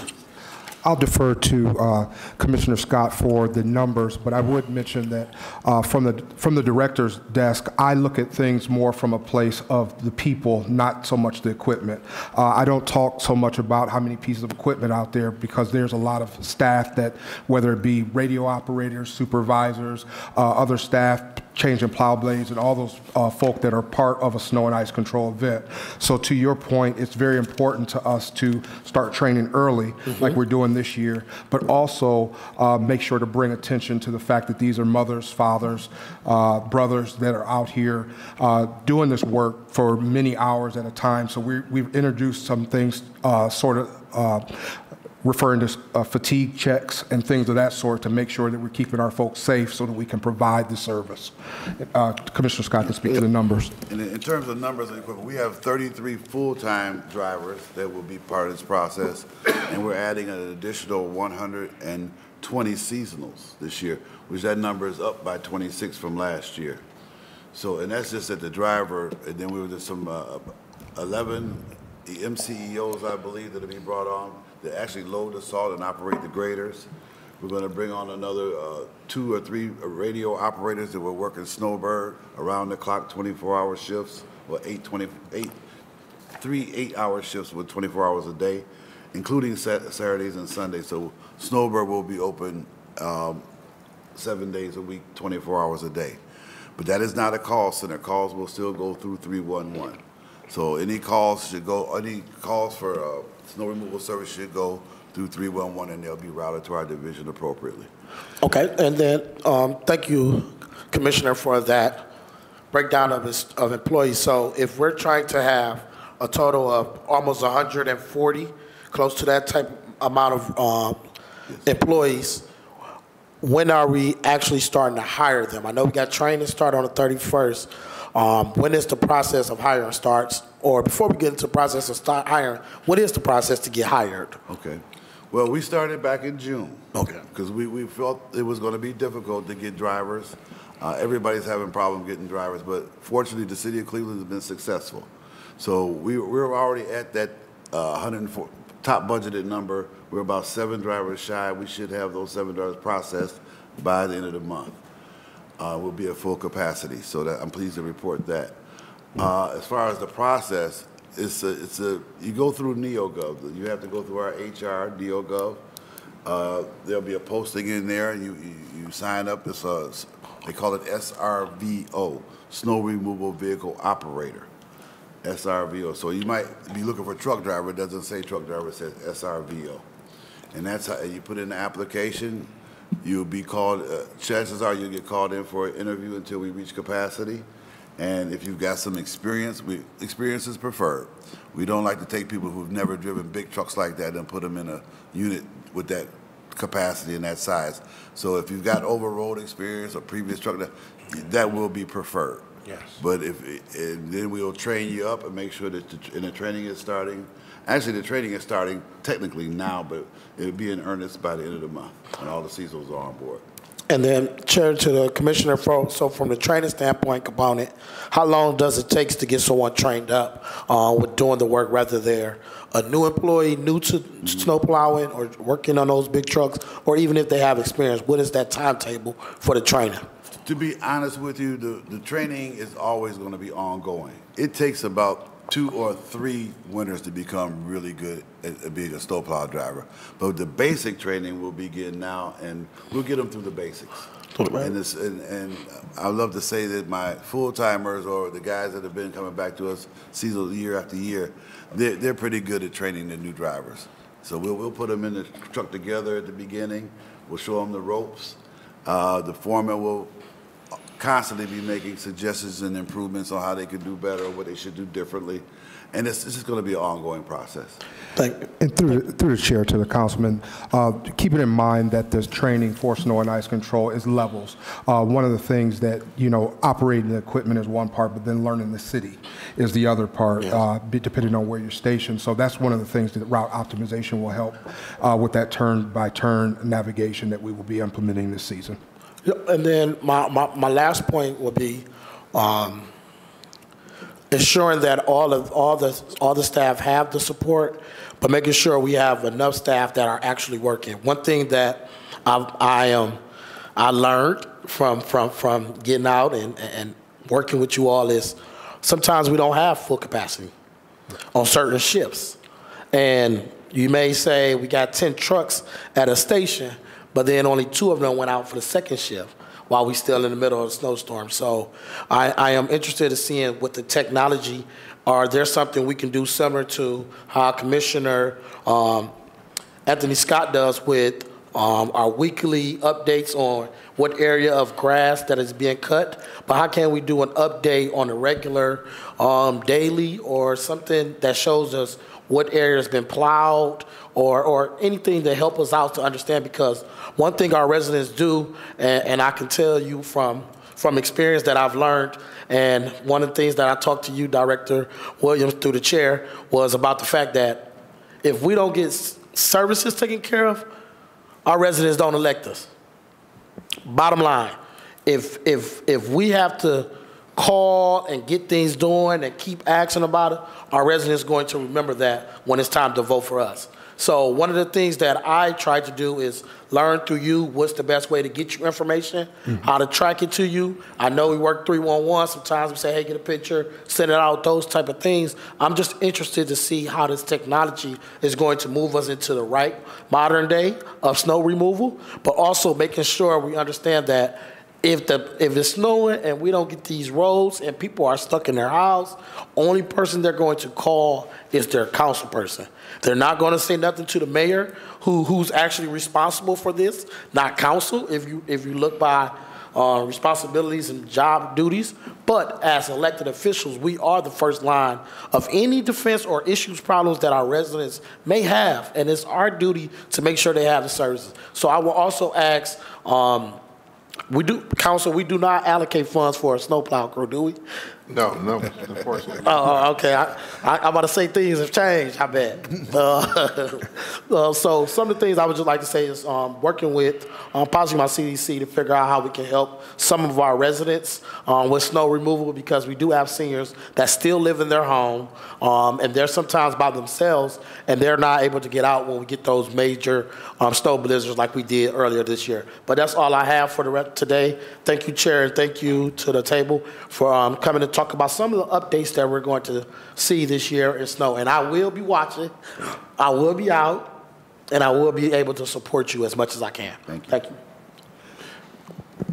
Through the chair, to the, to the councilman, uh, one of the things that you will also see on, the- uh, the- part of the route optimization piece is a revamp of the public-facing uh, snowplow tracker that you'll be able to see uh, in in almost real time what has been serviced throughout the area. But I do understand your comments, and we do operate from a place of transparency and operation. So uh, I'll see you out there, and we'll be out there together at some point, I am sure.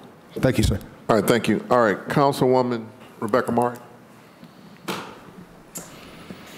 Thank you, and thank you, Director. I will also take you up on the offer to do a ride along uh, whenever we have our, our first snow. I um, I found that going to the garages, uh, I have both the Ridge Road Transfer Station and the East 65th garage um, that service my ward, and going to those early on in January was uh, some of the some of the best hours I've spent in local government. You have some great guys over there, and um, uh, just people who are. Uh, it helped me understand a lot about what's going on.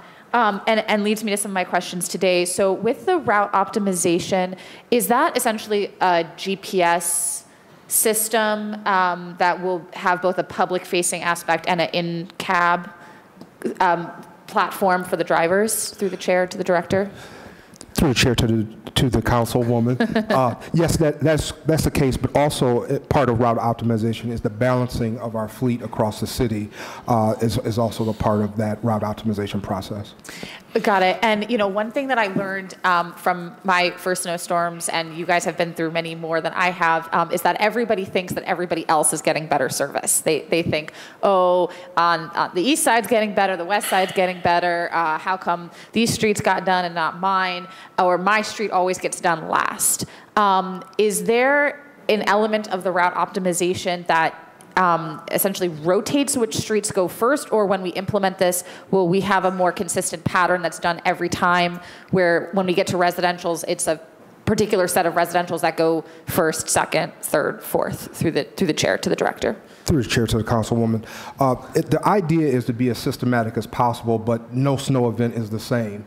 So uh, what our goal is is to actually respond and react to the actual weather that we're getting. In, in many cases, we get heavier snows on certain parts of, of the uh, city, so we we would uh, react to those areas the best we can. Keep it in mind also, depending on the operation, the actual type of operation, if we're in full plow only mode or if we're salting, sometimes you can see a difference between the distance between uh, a resident, st- residential street and our location. It may can seem longer, but just because of the travel time. Got it. Okay, that helps because I, I think that's something that happens in my ward is that my west side subsections are small and manageable, and then my east side subsections are huge. Even for the for the cutting, you know, I've I've heard the crew members say like we don't like going into Ward 12 subsection 10 or 11 because those are huge and they take like weeks to they take a week or more to do. And so the plow drivers also, it, it's almost like hard to get into the detail of the tiny streets in those subsections. So would we essentially be abandoning the subsection model i- when we go to this route optimization? Through the chair to the councilwoman, absolutely yes. absolutely yes. It, it, it was designed more for uh, the park maintenance operations, not so much for uh, the streets uh, divisions operations. So the idea of balancing these routes should eliminate that issue. Okay. They will be more equidistant in mileage. Okay, great. Um, I think that will help too because I had like one subsection where there's a tiny set of sort of cul-de-sacs that are off of a secondary main, and so they those cul-de-sacs always got forgotten, and so they would take a while to get to them. So I think I, I'm excited to see what this GPS has to offer. With these changes, um, I'm just looking up the old snow removal policy that we were last time. Um, when unfortunately your predecessor, I think, got a bit of a grilling from council after the two major snowstorms in January of last year. We got the snow removal policy that um, you know for six inches and above, the goal was for residential streets to get a first pass within 72 hours. Is that still the standard that you are going to be looking for, or are you going to be trying to to lower that through the chair to the director? Through the chair to the councilwoman, uh, right now it will remain until we get through the balancing of routes and our route optimization process, and then it will be reevaluated. But the goal uh, is to do the, the work as efficiently as, po- as possible. Uh, those are just more of a guideline, in my opinion. I, I would like to beat those every event. Yeah, absolutely. Um, and I know when, when we're not getting, uh, you know, catastrophic, uh, it's 18 inches, we, we often do. But I, I even hear um, folks already asking me about the snow plan. So this helps me sort of say that those old, these, these, these numbers, you know, 72 hours for six inches and above. Let's see, four to six inches, residential streets within 48 hours, one to four inches, residential streets in 24 to 36. That, that still sounds reasonable to you? Through the chair to the councilwoman, yes. Okay, great. That's super helpful. Um, the I, I, I spent a fair amount of time with you, Commissioner Scott, um, working on bump outs on Fleet Avenue, and it seems like a small issue, but I'll tell you why it is a big issue because that is our business parking for our small businesses along Fleet Avenue. Uh, similar issue along Broadview Road, places like Steve's Restaurant, uh, Saucisson, our, our woman-owned butcher shop. Um, those because of those bump outs not being done. Um, it, took, I believe, like a week and a half to two weeks um, to get those finally done because it required a um, those smaller trucks. They couldn't have the business parking that they needed. Um, and I know that there are other areas of the city that have bump outs and newer designed streets. Um, is there any additional planning for those roads with business parking as bump outs? Through the chair to the director. Mr. Chairman, to the council lady, we went through that experience on Fleet Avenue. Uh, as streets are designed, they're designed with different amenities. We have to adjust to those amenities. We're used to doing straight plowing and not in and out of those bump outs. But realizing what we went through last year, we, we're right-sizing the fleet to try to deal with issues like that. And we're also adding attachments to our, some of our end loaders that will allow us to get into those. And we would need your assistance in terms of having uh, businesses not park there during snow events. And maybe we could talk about some signage too. Yeah, absolutely. I, I would certainly um, be happy to talk about fleet in particular because I think that's really the one where if you're not realizing where the bump outs are, then when you're plowing, you're moving the snow into the bump outs, and then it took even longer Yes. to get them handled. Um, so um, I would welcome a chance to talk about that. And then, um, it, you know, I have a few areas. Um, South Hills and Broaddale come to mind where the road is wider than normal because it curves. And, um, you know, we had some concerns as the first pass had happened, one lane was opened, um, but then there was never a second pass to open up two-way two-way traffic because I think the drivers didn't know the area and didn't really know where the curbs are. If you have a wide area like that, is it useful for residents to put up those um, like little uh, stick, the you know sort of red marked sticks to show where the um, uh, the stakes to show where the curb is? Is that a useful thing for residents to do? Yes, very helpful. Okay, great. Um, That sounds like something I can, that sounds like an action item I can give to my residents. Um, So it sounds like maybe, um, Commissioner, you and I can work together on the bump outs. I will tell my residents about putting those stakes to better show if they're, if the street is at a, is in an odd area. Um, The polycarbon blades, um, one question I have is that, one thing I learned when I went to the East 65th Street Garage is that you know, of course, we have a long history of, of really excellent welders and that, you know, we are really exceptional in terms of the maintenance of these blade, of, of the blades that we previously used and um, other cities come to us for our expertise in this area. Does changing over to these polycarbon blades um, sort of make any part of that weld shop um, uh, less useful to us, or does that change how those welders are utilized within the city through the chair? No, uh, Mr. Chairman, to the council lady, the blades are the final attachment at the bottom. That has nothing to do with the actual structure of the plow itself. Got it. So our welders actually deal with the structures. We, we built, we design and build, redesign and build our own plows. We did about 10 this year for this upcoming season. The blade is the final attachment. The welders will still be responsible for replacing those. Got it. Okay, great. Because you got a lot of talent. You got a lot of talent at that shop. I don't want it to, to go to waste. Um, uh, last question. We did have, I'm kind of following up on Councilman Starr. Um, you know, one thing I learned last January was that we, you know, certainly had some um, either high medical needs or um, uh, sort of critical access issues for for certain streets that we would have, you know, okay, this person is a, a veteran who needs to get to the VA for, you know, a certain number of appointments each week. And if he's stuck in the house for three, four days, I'm going to get a call from his caretaker and it's going to be detrimental to his health. Is there any um, sort of preparation or identification of, you know, real emergent medical um, streets that have somebody with a high medical need and that those can be prioritized or anything like that through the chair to the director? Through the chair to the councilwoman, we don't have specialized service for uh, residential streets, but we do communicate with safety as it relates to keeping the hospitals open and their pathways uh, to the hospitals, especially from the expressways to the hospitals, uh, prioritize. And we do, uh, on occasion, do get emergencies where we do have to uh, help an ambulance or a fire truck, and we, we have that communication with, with the uh, public safety department for when those emergencies do occur.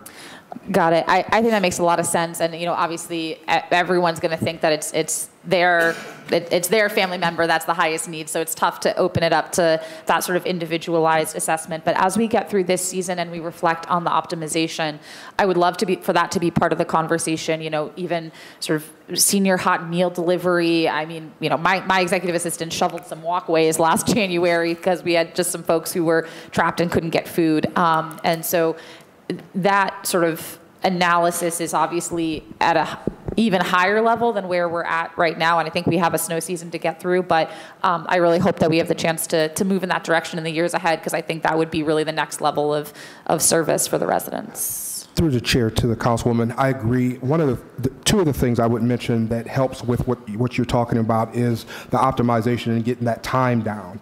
Uh, if we can get the goals down uh, to something more reasonable, that would help with that. But also right sizing the fleet, as Commissioner Scott mentioned, the better, the more nimble our fleet is, it also helps with being able to uh, improve that service delivery. Got it. Um, and then one last thing, the optimization system. Do we have a name for that vendor? What is, is it the same one from last year or is it a new one? Through the chair. Uh, Through the chair, there's Councilwoman Rubicon is the vendor that we chose this year. Okay. Uh, And I'm not exactly sure what their public-facing uh, branding is, but I can get that to you. Yeah, that'd be great. Thank you. All right, thank you, Council, Councilwoman Maurer. Uh, Councilman Brian Kazy. Thank you, Mr. Chairman. Mr. Chairman, to the Commissioner, every year, some radio state, or some radio, or some, some TV news does a story about our fleet, right?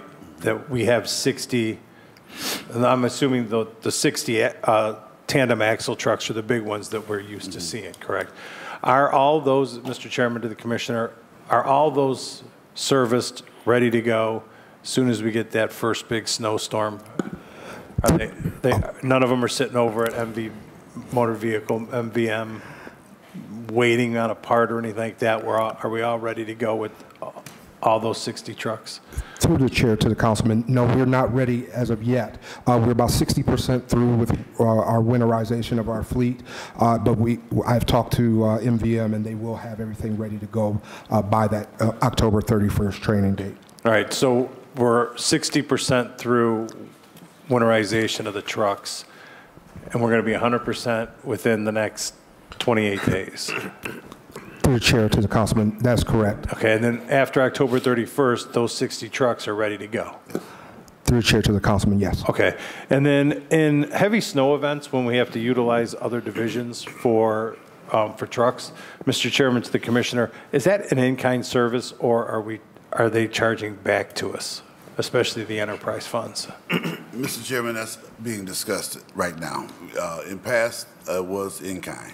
But Okay. now with recent changes on their end, uh, we're talking about a billing process, a, a chargeback process.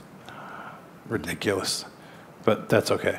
Um, and then one last question: How many streets are there in the city of Cleveland? Do you know?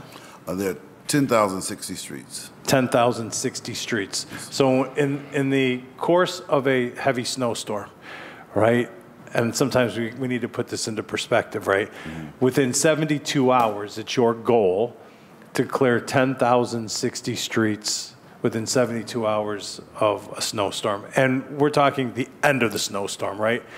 That 72 hours doesn't start when the snowstorm starts. It starts when the snowstorm stops because there's no sense clearing the street in the middle of a blizzard, correct? That's correct, Mr. Chairman.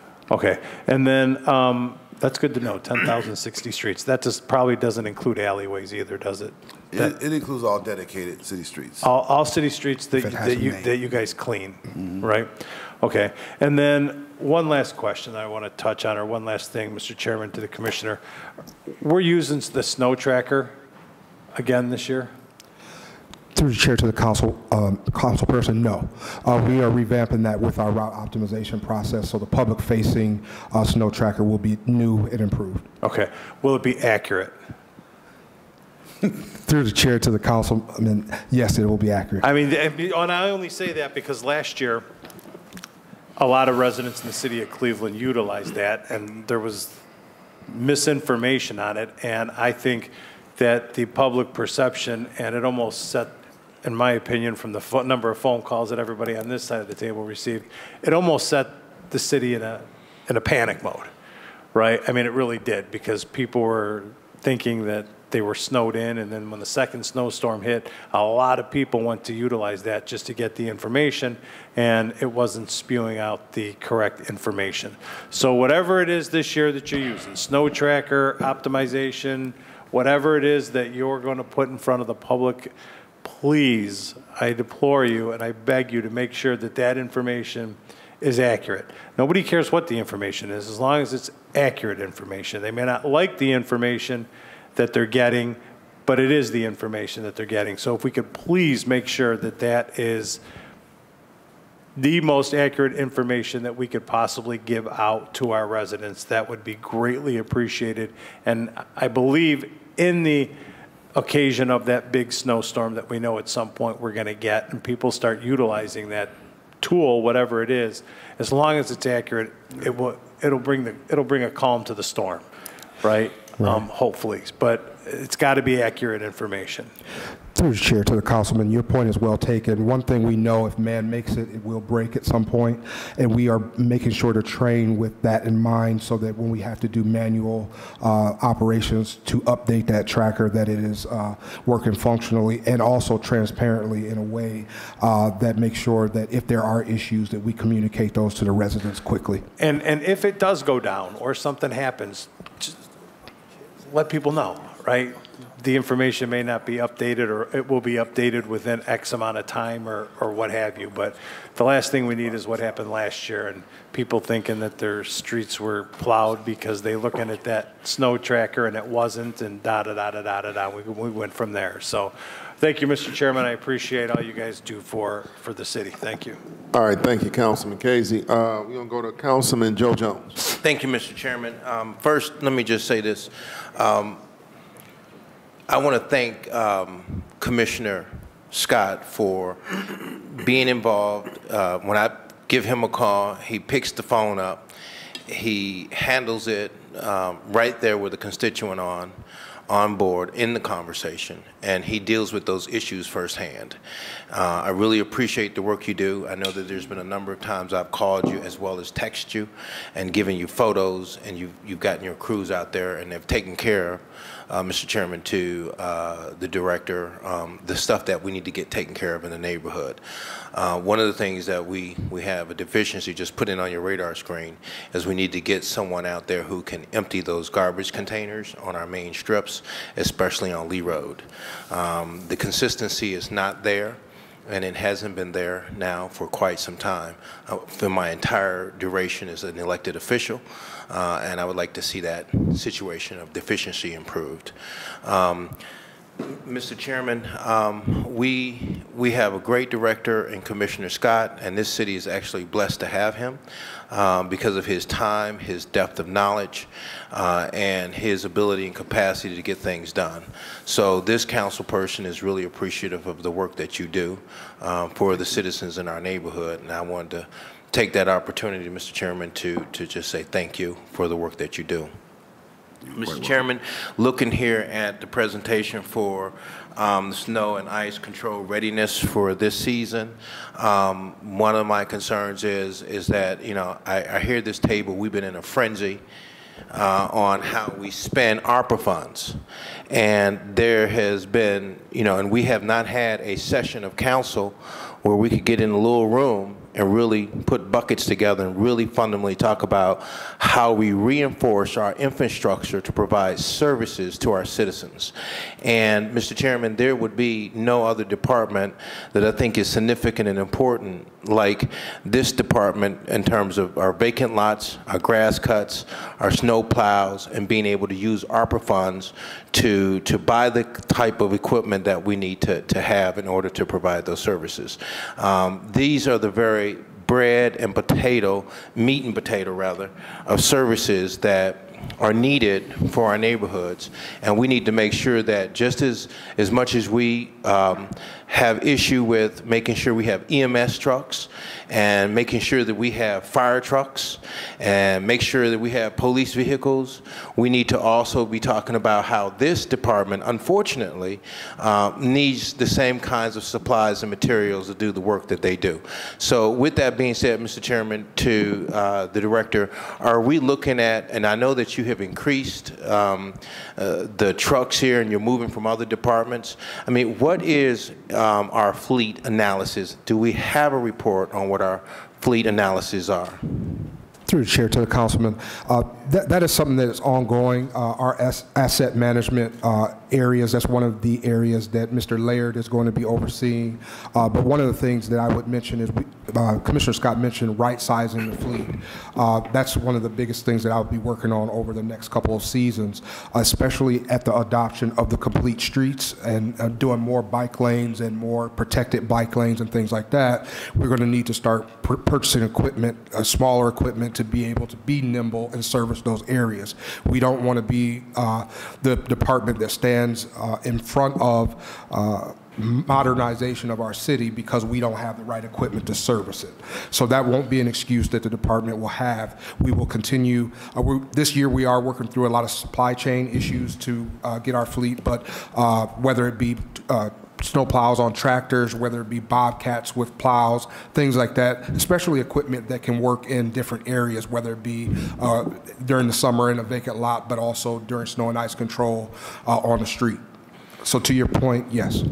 And, and Mr. Chairman, and, you know, and this is something that, you know, for readiness, not only for the, the snow division piece, but also for, um, um, our, vacant lots in terms of the, the, the equipment that we need to have there as well. I mean, we've, we've had these vacant lot programs for quite some time. We should have, all I mean, I would presume that we would have an idea of what we, what our actual needs are. And so while we have these funds, Mr. Chairman, to the director, the commissioners, um, you know, certainly I would think would have an idea of, of what we need to have in order to get, for an example, um, our cuts up and get our snowplow equipment in, in place and the kind of equipment, and, and I know that Mr. Kazy talked about it in his process, that we're, it seems like we're borrowing from other areas and locations just to get this number up to 112. Is that correct, Mr. Chairman to Director? That is correct. And so, Mr. Chairman, to Director, we should, we should have our own equipment. Um, and we should, we should go out and ask to utilize ARPA funds to do that. Um, those funds were put into play um, from President Biden for the purpose of, of, of fundamentally uh, making our city strong and whole. And part of that is making sure that we have the right people and the equipment in place to be able to provide the services our citizens need. And I know that right now everybody is coming to uh, the fountain to drink uh, with all sorts of things. But I think before we even look at all these other sorts of things, we need to make sure that our city is whole. Uh, I fundamentally believe that if we do that, then we prepare and equip our city to be able to provide the kind of services that our citizens deserve to have. So, Mr. Chairman, I would be, you know, hopeful that, that we would be able to do that, hopefully sometime soon, because if we wait too long, we won't have any money. And I want to sit here and champion on this side of the table to make sure that we have the, the equipment and the capacity so that we can provide those services to, this, to our citizens. And that's important to me. And so, Mr. Chairman, moving on, 112 units. So I, this is up, Mr. Chairman, 32 units from the 80 that we had before previously. Mr. Chairman, we, we have our frontline units, uh, the, the 80 or so that uh, we normally have. That, that's within the division of streets. When we get into a heavy snow, we will call our colleagues over at utilities and other areas, other divisions in the city, and put together a, a supplemental fleet. That takes us from that 80 to 112. I see. And so, and so, Mr. Chairman, so we somewhat got an idea of what we're going to have to do. So, but with this improved process here that we got, one of the things that I've experienced, Mr. Chairman, to the director to let you and the commissioner, um, has been um, the side streets. You know, and I've had an opportunity, Mr. Chairman, to go throughout when I've seen these kinds of situations happen. I've called you, I've called others, I've called Cox about our side streets being snow plowed, snowed in for more than a day, more than two days. In some instances, up to four days, uh, those side streets have not. And, and Mr. Chairman, um, to Mr. Williams, that is the first time I've ever experienced, you know, on a consistency, um, the the failure of the system to be able to get to those streets and plow those streets out, uh, where people have to get to work, and in some cases they can't get out to the street and they're getting stuck. Uh, and, and Mr. Chairman, what makes it even more egregious is you can't even get an emergency truck down those streets. Uh, in order to, if a person has an emergency, um, you can't get them down the street. So if someone needs to get out of their driveways, they need to go to the grocery stores, they need to pick up their medications, they're snowed in. And, and two to three to four days, Mr. Chairman, uh, is certainly unacceptable. And we have to do a better job. And, and that's my experience in Ward 1 on the southeast side of the city of Cleveland. And, and Mr. Chairman, I will say this, because this is important to say, Mr. Chairman. Uh, coming back in the four years and serving on city council, I have found the public service department. Um, if, if I had to grade it, it it's, a, it's not in a bad, it's not in a good place. Um, in years past, uh, when another mayor ran this city, we never had this kind of nonsense. Not at all. Not at all, not one iota. Uh, From our vacant lots issue, which I know that that has increased, so, you know, of course, over space and time, you have to give deference there. But in terms of our snow plowing, Ward One has never seen uh, the failure of public service at, at this scale. And, and at best, D, I would give you, uh, just because this is the new administration, um, but we have to do better with those citizens. If we lose, Mr. Chairman, the Lee Harvard Ward One area, we've lost all of the east side of the city of Cleveland. So we have to do everything we can, Mr. Chairman, to the director and to the commissioners who are here and the assistant director to really do wherever we can to keep that part of the city as best we can to offer and provide services because those citizens deserve it, number one. And number two, they've earned it and they're still in their homes. And right now, we have had an exodus. Whether we want to believe that or not, we've had an exodus in our city and we see that in terms of the numbers and the decreasing of numbers. Uh, we won't be able to retain our populations if we can't provide quality services like other cities around us. Garfield, Maple Heights, Warrensville, and Shaker Heights. So when those citizens compare and contrast the services right across their borders with these other cities, and they can't get out of their homes, and two, three, and four days because the snow has got them in, and their, their cars are being stuck on the street, unacceptable. So, but what I am glad to see, Mr. Chairman, with the new director, is that we're changing course that we're looking at trying to put together another type of program with a new routing system in addition to adding more equipment. So I really appreciate the fact that with this, we're shaking up both in the vacant lots area in terms of looking at um, putting a hybrid program out and seeing how that works and, and putting that in place to make sure we take the pressure off and to be able to provide more services. So with that, Mr. Chairman, kudos uh, to the administration for looking at doing something different. Uh, I've had this conversation several times at this table, uh, dealing with the former administration, and Mr. Chairman, it fell on deaf ears. And you know what I got in response? It is what it is. And it is what it is, Mr. Chairman, is unacceptable. And so I'm appreciative, Mr. Chairman, that we have this administration for the first time in four years that's coming up with something a little bit different than it is what it is. You might as well just accept it and get over it. Our citizens deserve better. Thank you, Mr. Chairman. All right, thank you, Councilman Jones. Uh, I just want to say that um, all of our citizens are important. Um, uh, no matter what neighborhood you live in, all of our citizens are important, okay?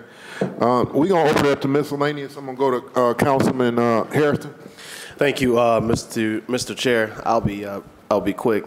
Uh, to the chair, to uh, the director, and I would assume commissioner too. Collinwood Stadium, the blue wall. We've been talking about this blue wall for quite some time. I know I mentioned it to you early on as you came in, but the commissioner is aware of the uh, of the blue wall at the stadium. That is the peel paint that is across. That has been like that for quite some time. I've also mentioned it to Director Cox on his way out the door. I've also mentioned it to uh, Chief Tiwan as she sat at the table during the um, the budget hearing process. But that blue wall, we, we got we have to do something about this blue wall. It is the paint is it, it looks horrible. So when we bring folks to uh, play games uh, at Collinwood School, even the, the community leagues that are there, just the residents who are walking the track, who are who are actively uh, working out in the neighborhood, it, it, looks bad. In fact, I got another email this morning about the blue wall uh, from individuals in the community. Uh, I will say through the chair to the director and the commissioner that the uh, athletic department at the school is willing to pitch in and help any way that they can to ensure that the wall uh, is painted. You know, a great mural will, will look good on that wall. You know, there's some options out there. But uh, to the chair, the director, and the commissioner, you know, I really want us to to figure out when we're going to get this done. You know, I, I, I know we all got a lot, lot of things going on, but you know, what I, I do not want to go into another year with this wall looking the way it does. So I would just ask that we get together and figure out a, a, real plan to address the wall, which I know we will. But I want to make sure that I put it back on your on your minds. You know, again, I'm looking at your presentation. You got a lot going on. You're trying to you know, in one season, get prepared. And the wall may not be high up on that list, but I want to make sure that we uh, uh, keep that on your minds, in the front of your minds, because that is on a, high priority for the community uh, in that neighborhood. All right. Uh, secondly, uh, uh, and lastly, Mr. Chair, to the Commissioner and Director, the parking lot that's going south on 152nd Street. The Commissioner team has, you know, really done what they can on the exterior, but I'm not sure whose responsibility that is to maintain that parking lot as you go south on 152nd Street that is used for the Collins Stadium. Because they, the city, when they redid the parking lot, when they installed the parking lot, beautiful landscaping, bushes, plants, everything, and now it's just, a, it's a, it's just, it's not maintained at the level that it, it should be maintained. So I don't know if that comes out of the, the school district assist with that, or that is, that is, that's the parks area that handles that. I'm not sure who handles that, but they have done, uh, what I believe that they have, are able to do, but I'm really asking if, if we can really do a more detailed, uh, um, process on that lot when we go out, you know, to try to, um, bring it back to life, you know, a little bit better. Mr. Chair. To the chair, to the councilman, excuse me. Uh, Honestly, I am not aware if it's my Parks team or CMSD, so I'll look yeah. into it and follow up with you. Okay. All right. Thank you. I just wanted to put those two. Thank you. All right, thank you, Councilman Harrison. Uh, Count, we're gonna go right back to Councilman Jones.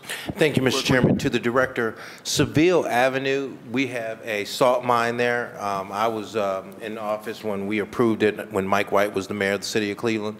Um, It is falling apart. It- it- The fundamental thing that it should have had in terms of maintenance is sh- is shingles. So when the shingles went missing, the water hit it, and now you can see the wood rotting the whole nine yards. Um, Hopefully, we can get that fixed up, as well as the maintenance of that area. It doesn't look well. So we've had residents on Seville Avenue talking about that. And then also on Johnston Parkway, again, another facility that was established 20-some years ago.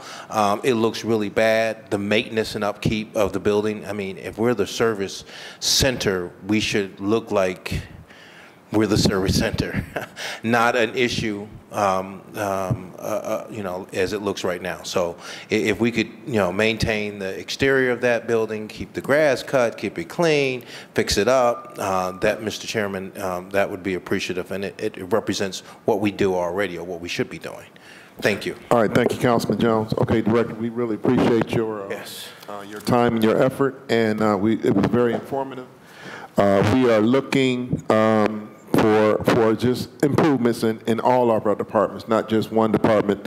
But we, uh, it's just like, I want to echo what Councilman Jones has said about the grass cutting. It is very, very important that we provide our residents with uh, proper service. Okay, Director? Yes, sir. All right, thank you. Thank you. Thank you, Mr. Thank you, Chairman. Mr. Thank you, Council. Just a minute.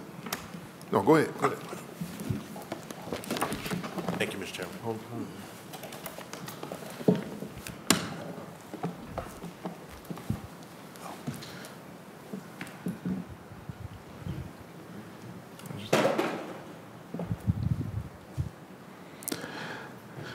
Uh, Before we, before we adjourn this committee, uh, I do want to, I do want to reiterate that it's important that we all um, get here on time. Um, We had to start the meeting with half of our committee that was, that was absent.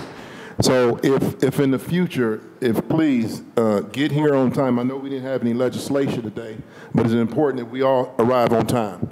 All right, the MSP uh, committee is adjourned.